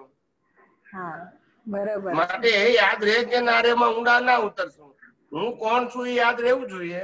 અને આ જગત કયા આધારે ચાલે છે કુદરતી રચના? એ યાદ રહે બહુ થઈ ગયું બીજું બધું યાદ રાખવા જેવું નથી. હા બરાબર છે. ભલે જય સચિદાનંદ સ્વામીજી. જય હે અંતર્યામી પરમાત્મા હે અંતર્યામી પરમાત્મા આપ દરેક જીવ માત્રમાં બિરાજમાન છો. આપ દરેક જીવ માત્રમાં બિરાજમાન છો. તેમજ મારામાં પણ બિરાજેલા છો? આપનું સ્વરૂપ? તે જ મારું સ્વરૂપ છે. મારું સ્વરૂપ શુદ્ધ આત્મા છે. હે શુદ્ધાત્મા ભગવાન હે આપને અભેદ ભાવે અત્યંત ભક્તિ પૂર્વક નમસ્કાર કરું છું. અજ્ઞાનતાએ કરીને અજાગૃતિએ કરીને, દ્રષ્ટિ સંબંધી જે કઈ પણ દોષો થયા છે દોષો અને થાય છે, એ સર્વ દોષોને ને આપની સમક્ષ જાહેર કરું છું. તેનો હૃદય પૂર્વક ખૂબ પસ્તાવો કરું છું. અને આપની પાસે ક્ષમા પ્રાર્થું છું. હે પ્રભુ મને ક્ષમા કરો ક્ષમા કરો ક્ષમા કરો. અને ફરીથી આવા દોષો ક્યારે પણ ન કરું. ક્યારેય પણ ન કરું. એવી આપ મને શક્તિ આપો. એવી આપ મને શક્તિ આપો હે શુદ્ધાત્મા ભગવાન હે શુદ્ધાત્મા ભગવાન આપ એવી કૃપા કરો કે આપ એવી કૃપા કરો કે અમને ભેદભાવ છૂટી જાય અમને ભેદભાવ થઈ જાય અને અભેદ સ્વરૂપ પ્રાપ્ત થાય અને અભેદ સ્વરૂપ પ્રાપ્ત થાય અમે તમારામાં અને તમારામાં અભેદ સ્વરૂપે અભેદ સ્વરૂપે તન્મયાકાર રહીએ જય સચ્ચિદાનંદ જય